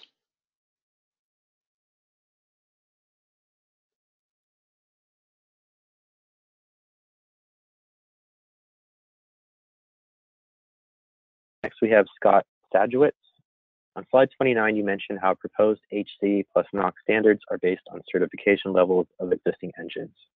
Do these existing certifications use the proposed extended durability period?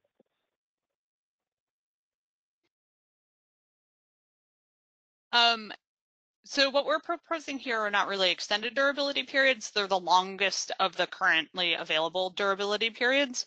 Um, and there are engines certified at or below these levels that meet the longest of the durability periods, yes.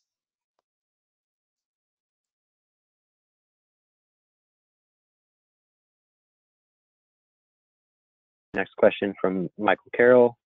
Has staff taken into consideration that the impacts of banning the sale of spark-ignited internal combustion engine-powered portable generators would fall disproportionately on middle and lower income households that cannot afford more expensive stationary standby power?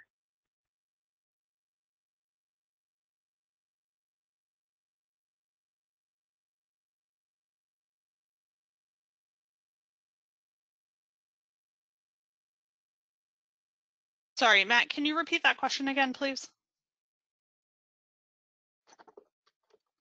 Yes, I can. Um, scroll up. Has staff taken into consideration that the impacts of banning the sale of spark-ignited internal combustion engine-powered portable generators will fall disproportionately on middle and lower income households that cannot afford more expensive stationary standby power? We don't have any evidence that that would happen, um, that the cost would dis fall disproportionately on lower income households. Um, we would be interested in seeing it if you do.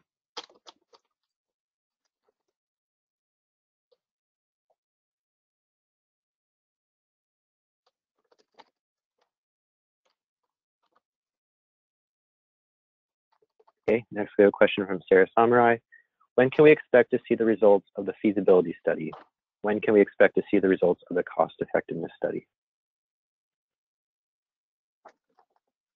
Thanks. Both cost effectiveness and feasibility um, will be addressed in the standardized regulatory impact assessment, which will be published in the spring or summer um, by the Department of Finance on their website. Um, and these things will also be addressed explicitly in the initial statement of reasons, the staff report that's published at the beginning of the 45 day comment period.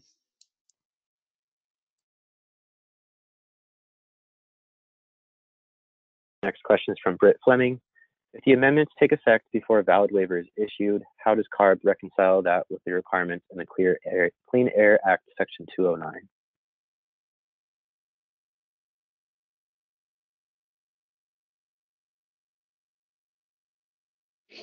Thanks for that question, Brett. Yeah, um, CARB will be working on the authorization requests uh, with EPA after uh, final rulemaking process ends. Um, and we'll have more, more to discuss at that point with uh, the public.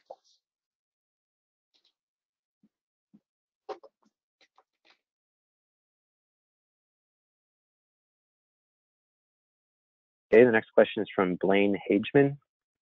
Can you discuss the impact on commercial mowers, i.e. 25 horsepower SSIE, with 10 gallon fuel tank operating for 6.5 hours compared to a 10 kilowatt hour battery operating for one and a half, three hours?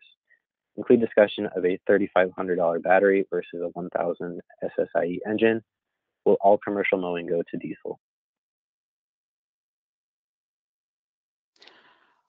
Thanks for that question. Um, there are commercial um, battery operated lawnmowers available that last um, much longer than one to three hours. Um, as far as the impact on um, mowers generally um, and whether they will go to zero, that's hard to speak to. Um, there are good zero emission equivalents available today, but commercial users can make their own decisions about what kind of mowers they want to buy. and these regulations do not affect diesel equipment.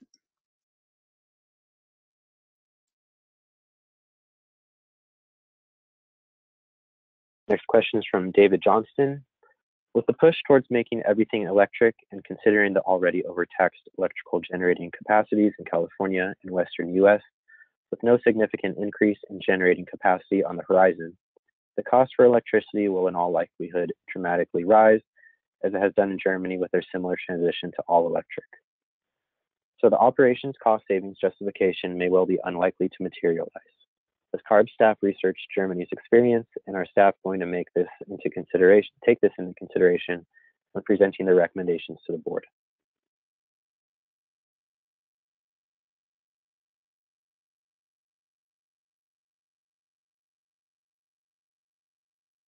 Thanks for the question. Um, we have not explicitly studied Germany's electrical costs. Um, we do have projections of California electrical costs over time and how they're likely to change over time, and those are included in our economic um, impact assessment, um, which will be published as part of the SORIA, the Standardized Regulatory Impact Assessment. Um, and so those are included there.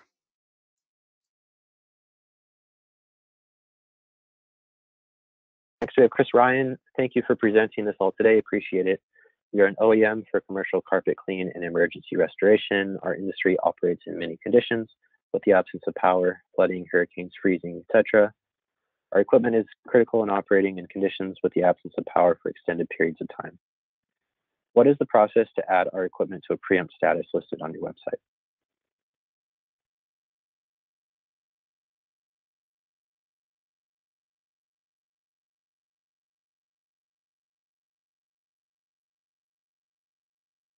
Thanks for that question, Chris. Um, there is uh, no formal process. We receive requests uh, periodically from uh, manufacturers to determine whether or not uh, equipment is exempt from our regulations. Um, you can contact staff uh, for further discussion on that.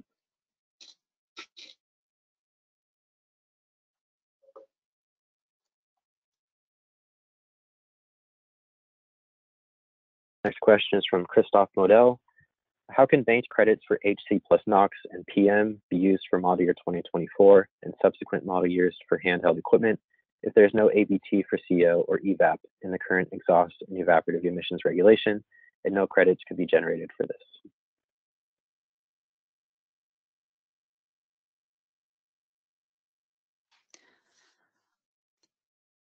Thanks, Christoph. Um, for the EVAP credits, um, engines under 80 cc's for hand, handheld engines will be allowed to um, uh, earn EVAP credits as soon as the regulations are adopted under these potential regulations. Um, in addition, we are allowing credit trading across engine classes um, which would allow 80 uh, smaller engines to use EVAP credits earned on larger engines.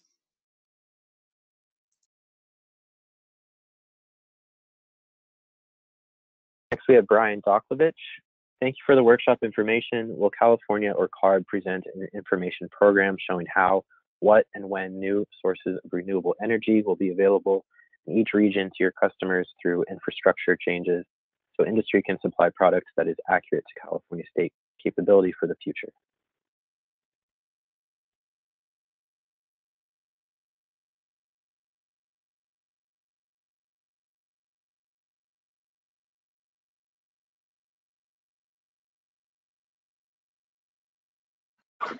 Hi, Brian. Uh, this is Christopher Dilbeck. Um, I think we're not quite clear on on what you're asking here, um, but perhaps you could follow up with us um, by email, uh, and we could get a better uh, understanding of this.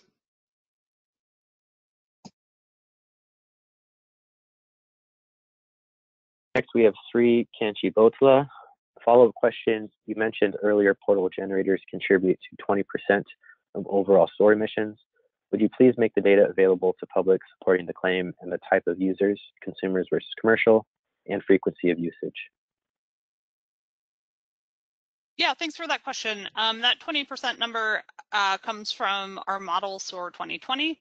Um, if you want more details on the types of users, the breakdown of user type and frequency of user, um, you can find a lot of it in the documentation for the SORE 2020 model. Um, it's linked to from both the SORE website and also if you go to arb.ca.gov and search SORE 2020, um, you should find that pretty easily. Um, in addition, if you have further questions about that or want more details on that breakdown, you can reach out to our colleagues um, in AQPSD um, who uh, developed that model. Um, if you send an email to the comment one or to any of us, we can put you in touch with them and they can help you find the detailed information you're looking for.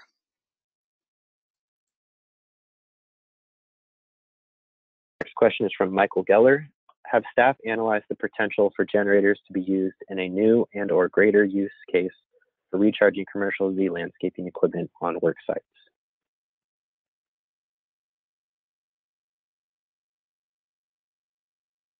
Uh, thanks for that question, Michael. Um, we have looked into the potential for generators to be used more. Um, we don't have any substantive evidence about that. Um, so it's hard for us to answer in great detail, but we have considered it, um, but we don't have any evidence about it.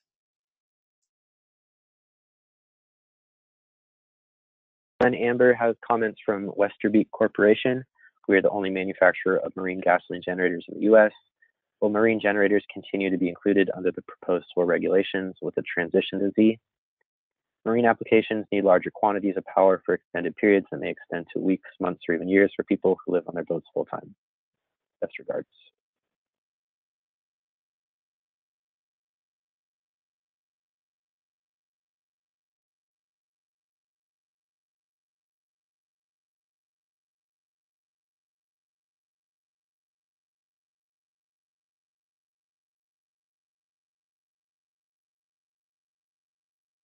And it looks like, uh, Glenn, you have a, an additional comment right after.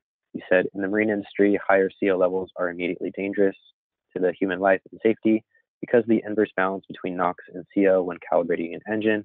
Lowering the HC plus NOx levels to a proposed level like 0.8 grams per kilowatt hour for generators from 2014 would result in a substantial increase in CO emissions. This increase would pose immediately danger to, immediate danger to human health in a marine environment EPA recognizes this risk and has special regulations for SORE marine generators. How does CARB propose to address the situation?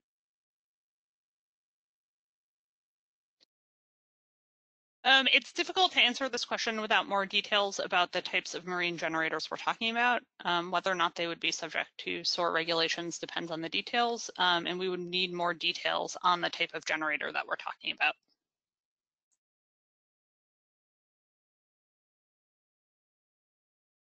Next, we have a question from Umesh Shabala. Can model year 2024 equipment with solar built before January 1, 2024 be imported into California after January 1, 2024 and beyond? Hi, uh, this is Christopher Dilbeck. Um, so Umesh, under the, um, the, the, draft um, proposal that, that was discussed today, um, the new emission standards would apply to model year 2024. So if an um, engine or an evaporative system were model year 2024, um, it, it would be subject to those emission standards. However, if um, a piece of equipment is considered model year 2024, but uses uh, and I should say considered model year 2024 by the equipment manufacturer, the chassis manufacturer, let's say.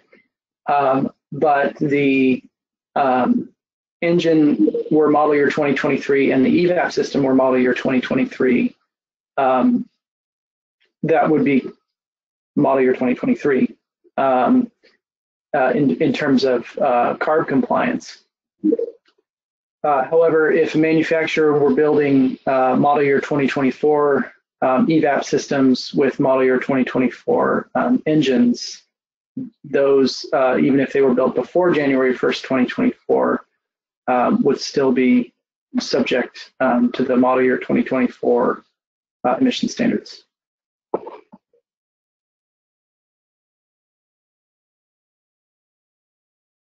Doug Hartley asked, has staff considered the electrical load required for in-home medical devices for ZEE?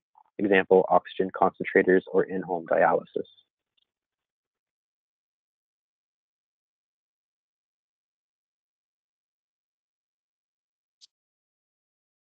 Um, we have looked into this um, and we will continue looking into this um, and we'd be interested in any data you have addressing this issue.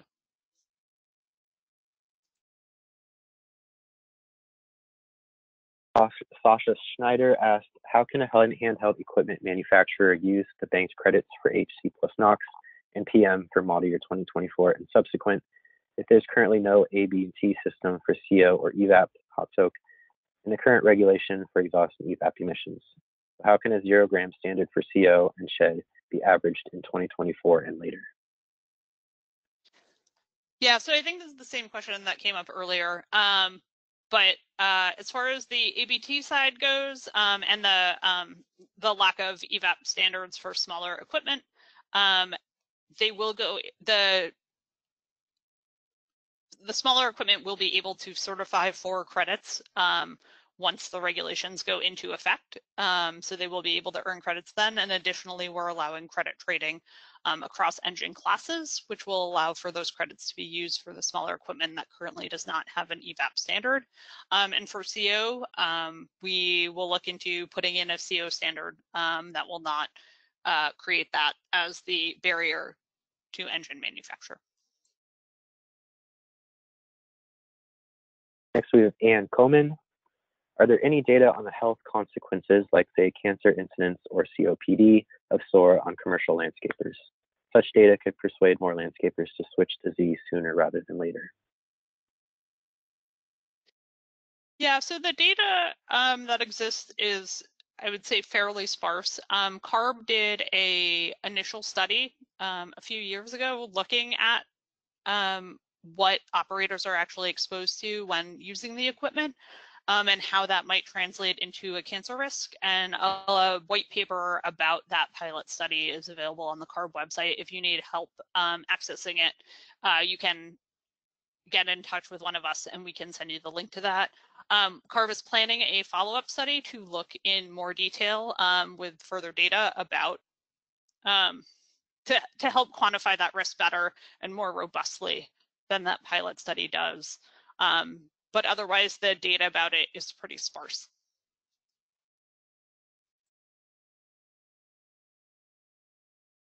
Eric Smith's comment, would a permanently mounted generator in an RV be considered the same as one permanently mounted at home? The generators used in our facility at least would be the same units utilized for that purpose. You had stated earlier that SORE did not apply to permanent home units. Thanks for the question, Eric. Um, the uh, evaporative emission regulations contain uh, an exemption um, for uh, generators in a um, uh, on-road vehicle or a marine vessel that um, exempts them from having to meet uh, the diurnal emission standards and the hot soakless diurnal emission standards uh, under the draft proposal um, that uh, under the draft proposal will continue to be the case. Um, but these units um, are subject to the SORE regulations in, in the, um, the on-road vehicles.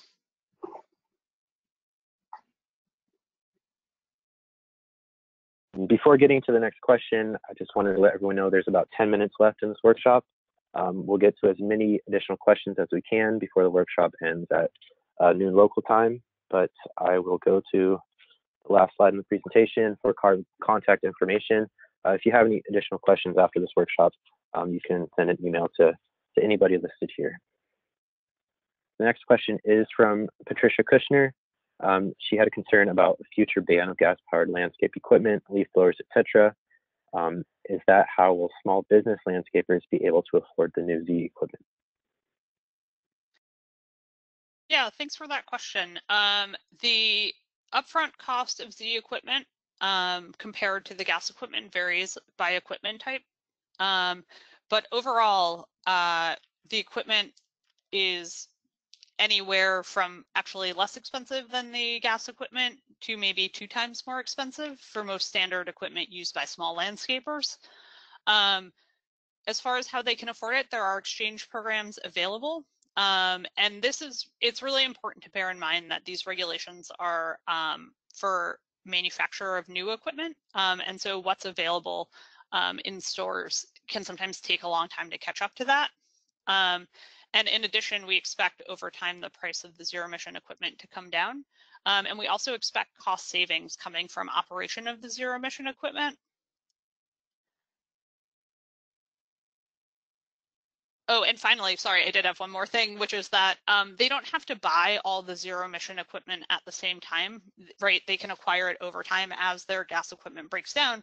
They can replace one piece at a time. Um, and so they're not absorbing all the upfront costs at the same time.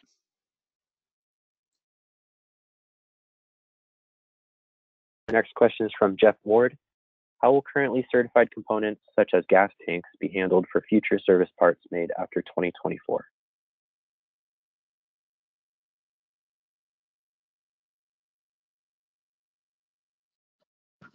Hi, this is Christopher. Um, I think we might need more information about what you're asking about, um, Jeff. I, I could mention briefly that um, in the, the applicability um, section of the evaporative emission regulations, there is a requirement for um, components um, and, and evaporative emission control systems to be certified and labeled uh, according to the, the requirements of the regulations. So um, if, if you have further question on that or need further clarification, Jeff, um, you could follow up with us.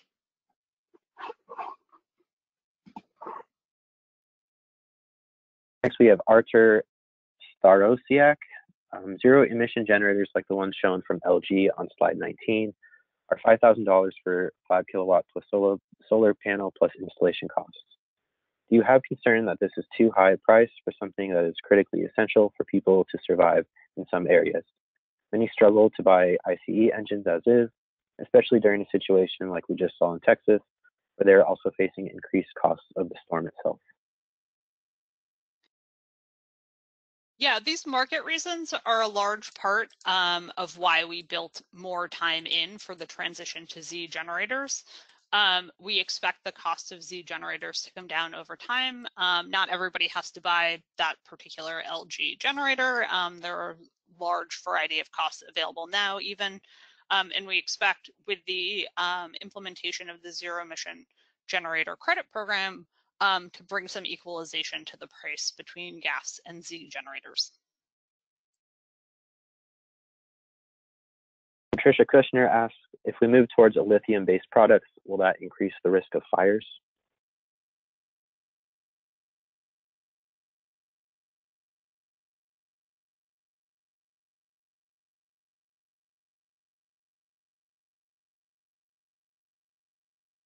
Um, we do not expect an increase in fire risk. Um, lithium batteries are subject to um, regulations um, by the CEC in California, and new lithium chemistry may not be as fire prone as others, and also gasoline is flammable.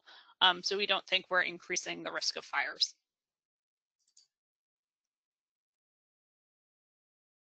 Miharu Takamoto asks, we understand the importance of fuel spillage during real use.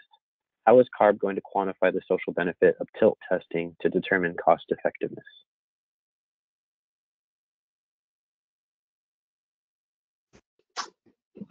Hi, this is uh, this is Christopher.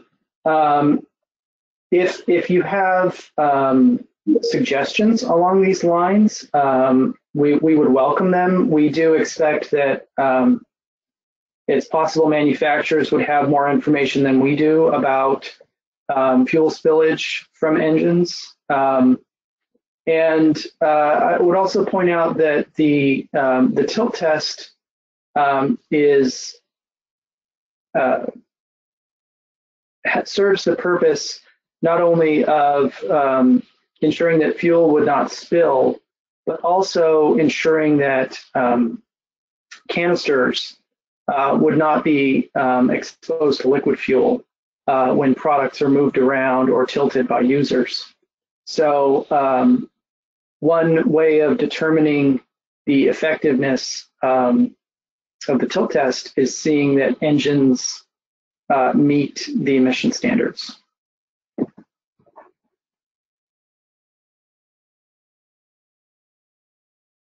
All right, next we have least person i.e. no regulations considered for the CO2 emissions from ZEE. Yeah, I think this is a follow up from Leaf's earlier question um, about CO2 emissions um, from SORE equipment. Um, and you were correct, there are no regulations um, on zero emission SORE equipment right now, so there are no regulations around or considerations of the CO2 emissions that would come from charging of ZEE. Next, we have Dustin Ham. While provisions for emissions credits for engine manufacturers could play a part in the transition from SORE to ZEE, has CARB considered the time engine manufacturers will need to improve existing SORE engines and recoup their investment in these improvements?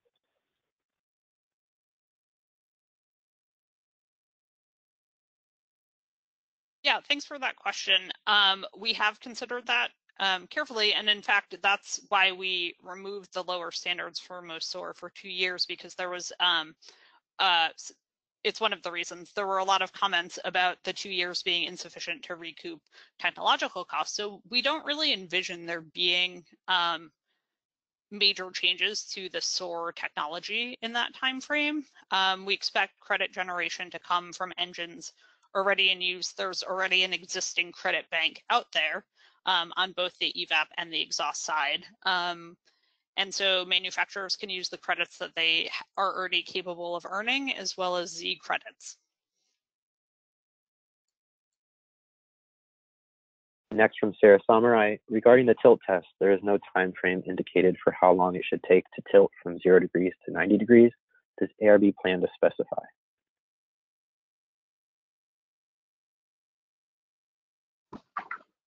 Uh, we would welcome suggestions for that.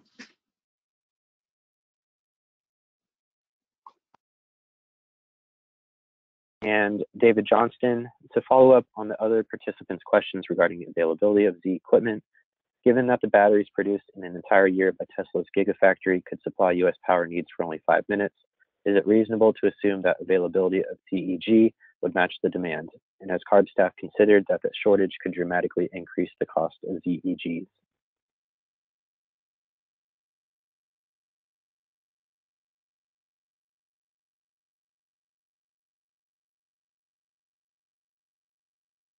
Um, SORE generators are a small portion um, of generator power production in the US. Um, I'm not sure what the comparison to US power needs um, is addressing. Um, we don't think that this regulation would drive up the cost of zero emission generators. We in fact think with the zero emission generator credit exchange program that it would go down. If you have evidence that it would increase the cost, we would welcome that.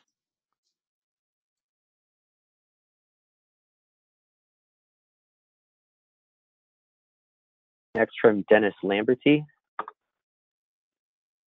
Regard to staff statement concerning purchasing portable generators based on educating consumers to a specific need, consumers typically purchase portable generators based on worst case anticipated emergency needs or other time extending power and project needs, and not necessarily for tailgating or for simple charging. Applications which can apply with a smaller and specific consumer segment as mentioned by staff. With that said, and with ZEE technology is not financially feasible and available for the average consumer to have power for the noted worst case extended conditions or project needs should be considered with this proposed rulemaking for portable generators.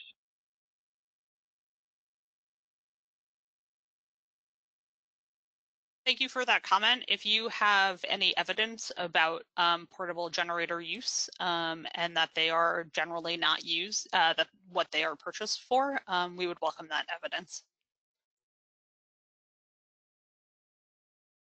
All right, our time is just about up, but it looks like we only have a few more questions, so we'll see if we can get these last few. Uh, we have Ty Riggins. There is currently not a single ZEE available that can meet the requirements of a commercial cleaning business, hazmat, cleanup, disaster, etc. Any thought on adding commercial pressure washers to preempt list, given this will not be solved by 2024?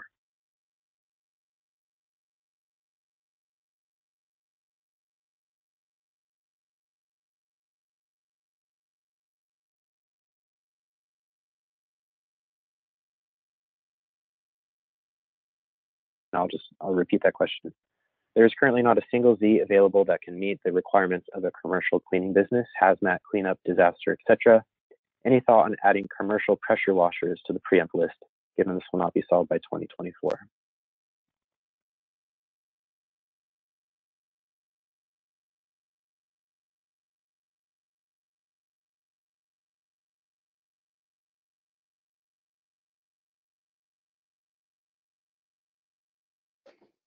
Thanks for that question. Um, so commercial pressure washers aren't considered, um, you know, preempt equipment as provided in the Clean Air Act. Um, it's not construction equipment or farm equipment, to, uh, to our knowledge. But if you have evidence to suggest otherwise, we would we would welcome that conversation.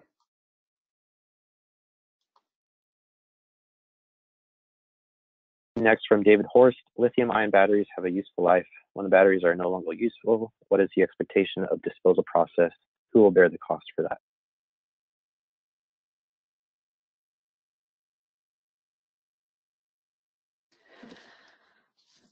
Yeah, thanks for that question. Um, in California, um, batteries cannot be thrown in the trash, so we don't expect um, there to be a significant hazardous waste issue um, from that. There are um, already programs in place in California for disposal of batteries um, for all residents, um, where batteries must be disposed of um, with a, an appropriate recycling program.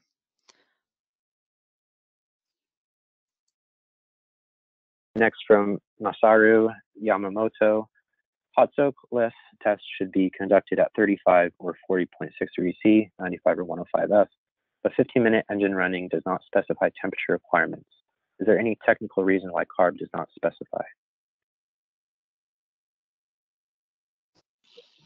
Hi, this is Christopher. Um, I, I, think what uh, the, the question is getting at is an ambient temperature um, is not specified for running um, the engine for 15 minutes uh, prior to the hot soak. Um, the, the procedure does not specify an ambient temperature during that runtime, uh, and if, if you have a suggestion for one, um, then we would welcome that. Haru Takamoto asks, slide 20, it is counterintuitive that power shutoffs will be less frequent considering recent increasing wildfires. Is this trend still valid? A, looking at longer time horizon like 2000 to 2020. B, not only PSPS, but power shutoff in general.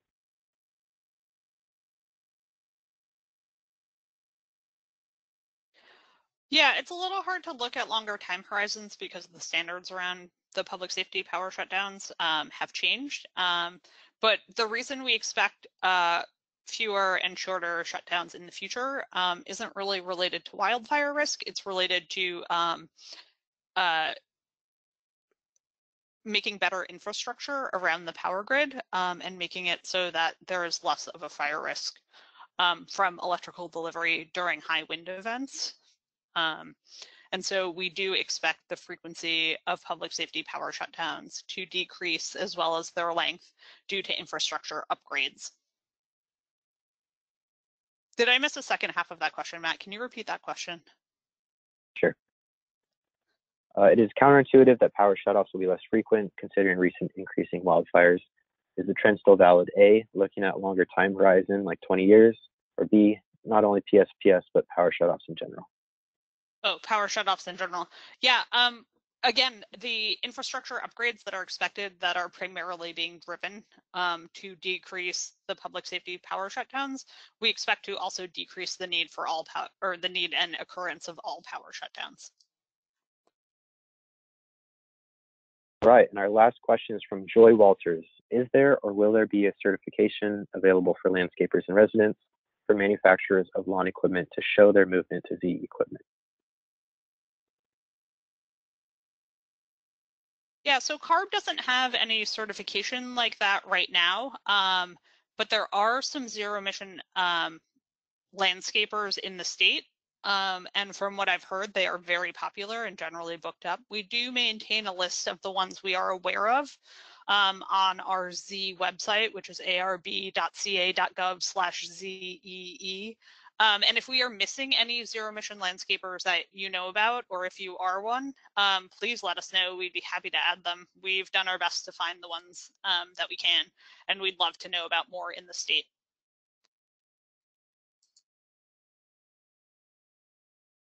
All right, thank you everybody for your questions. I will now uh, pass it back off to Manisha Singh for uh, closing remarks. Thanks, Matt.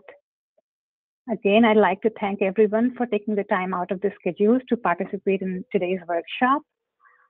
Really can't uh, overemphasize the impact of your participation on the overall quality of our um, rulemaking process we encourage all of you to continue to engage with us.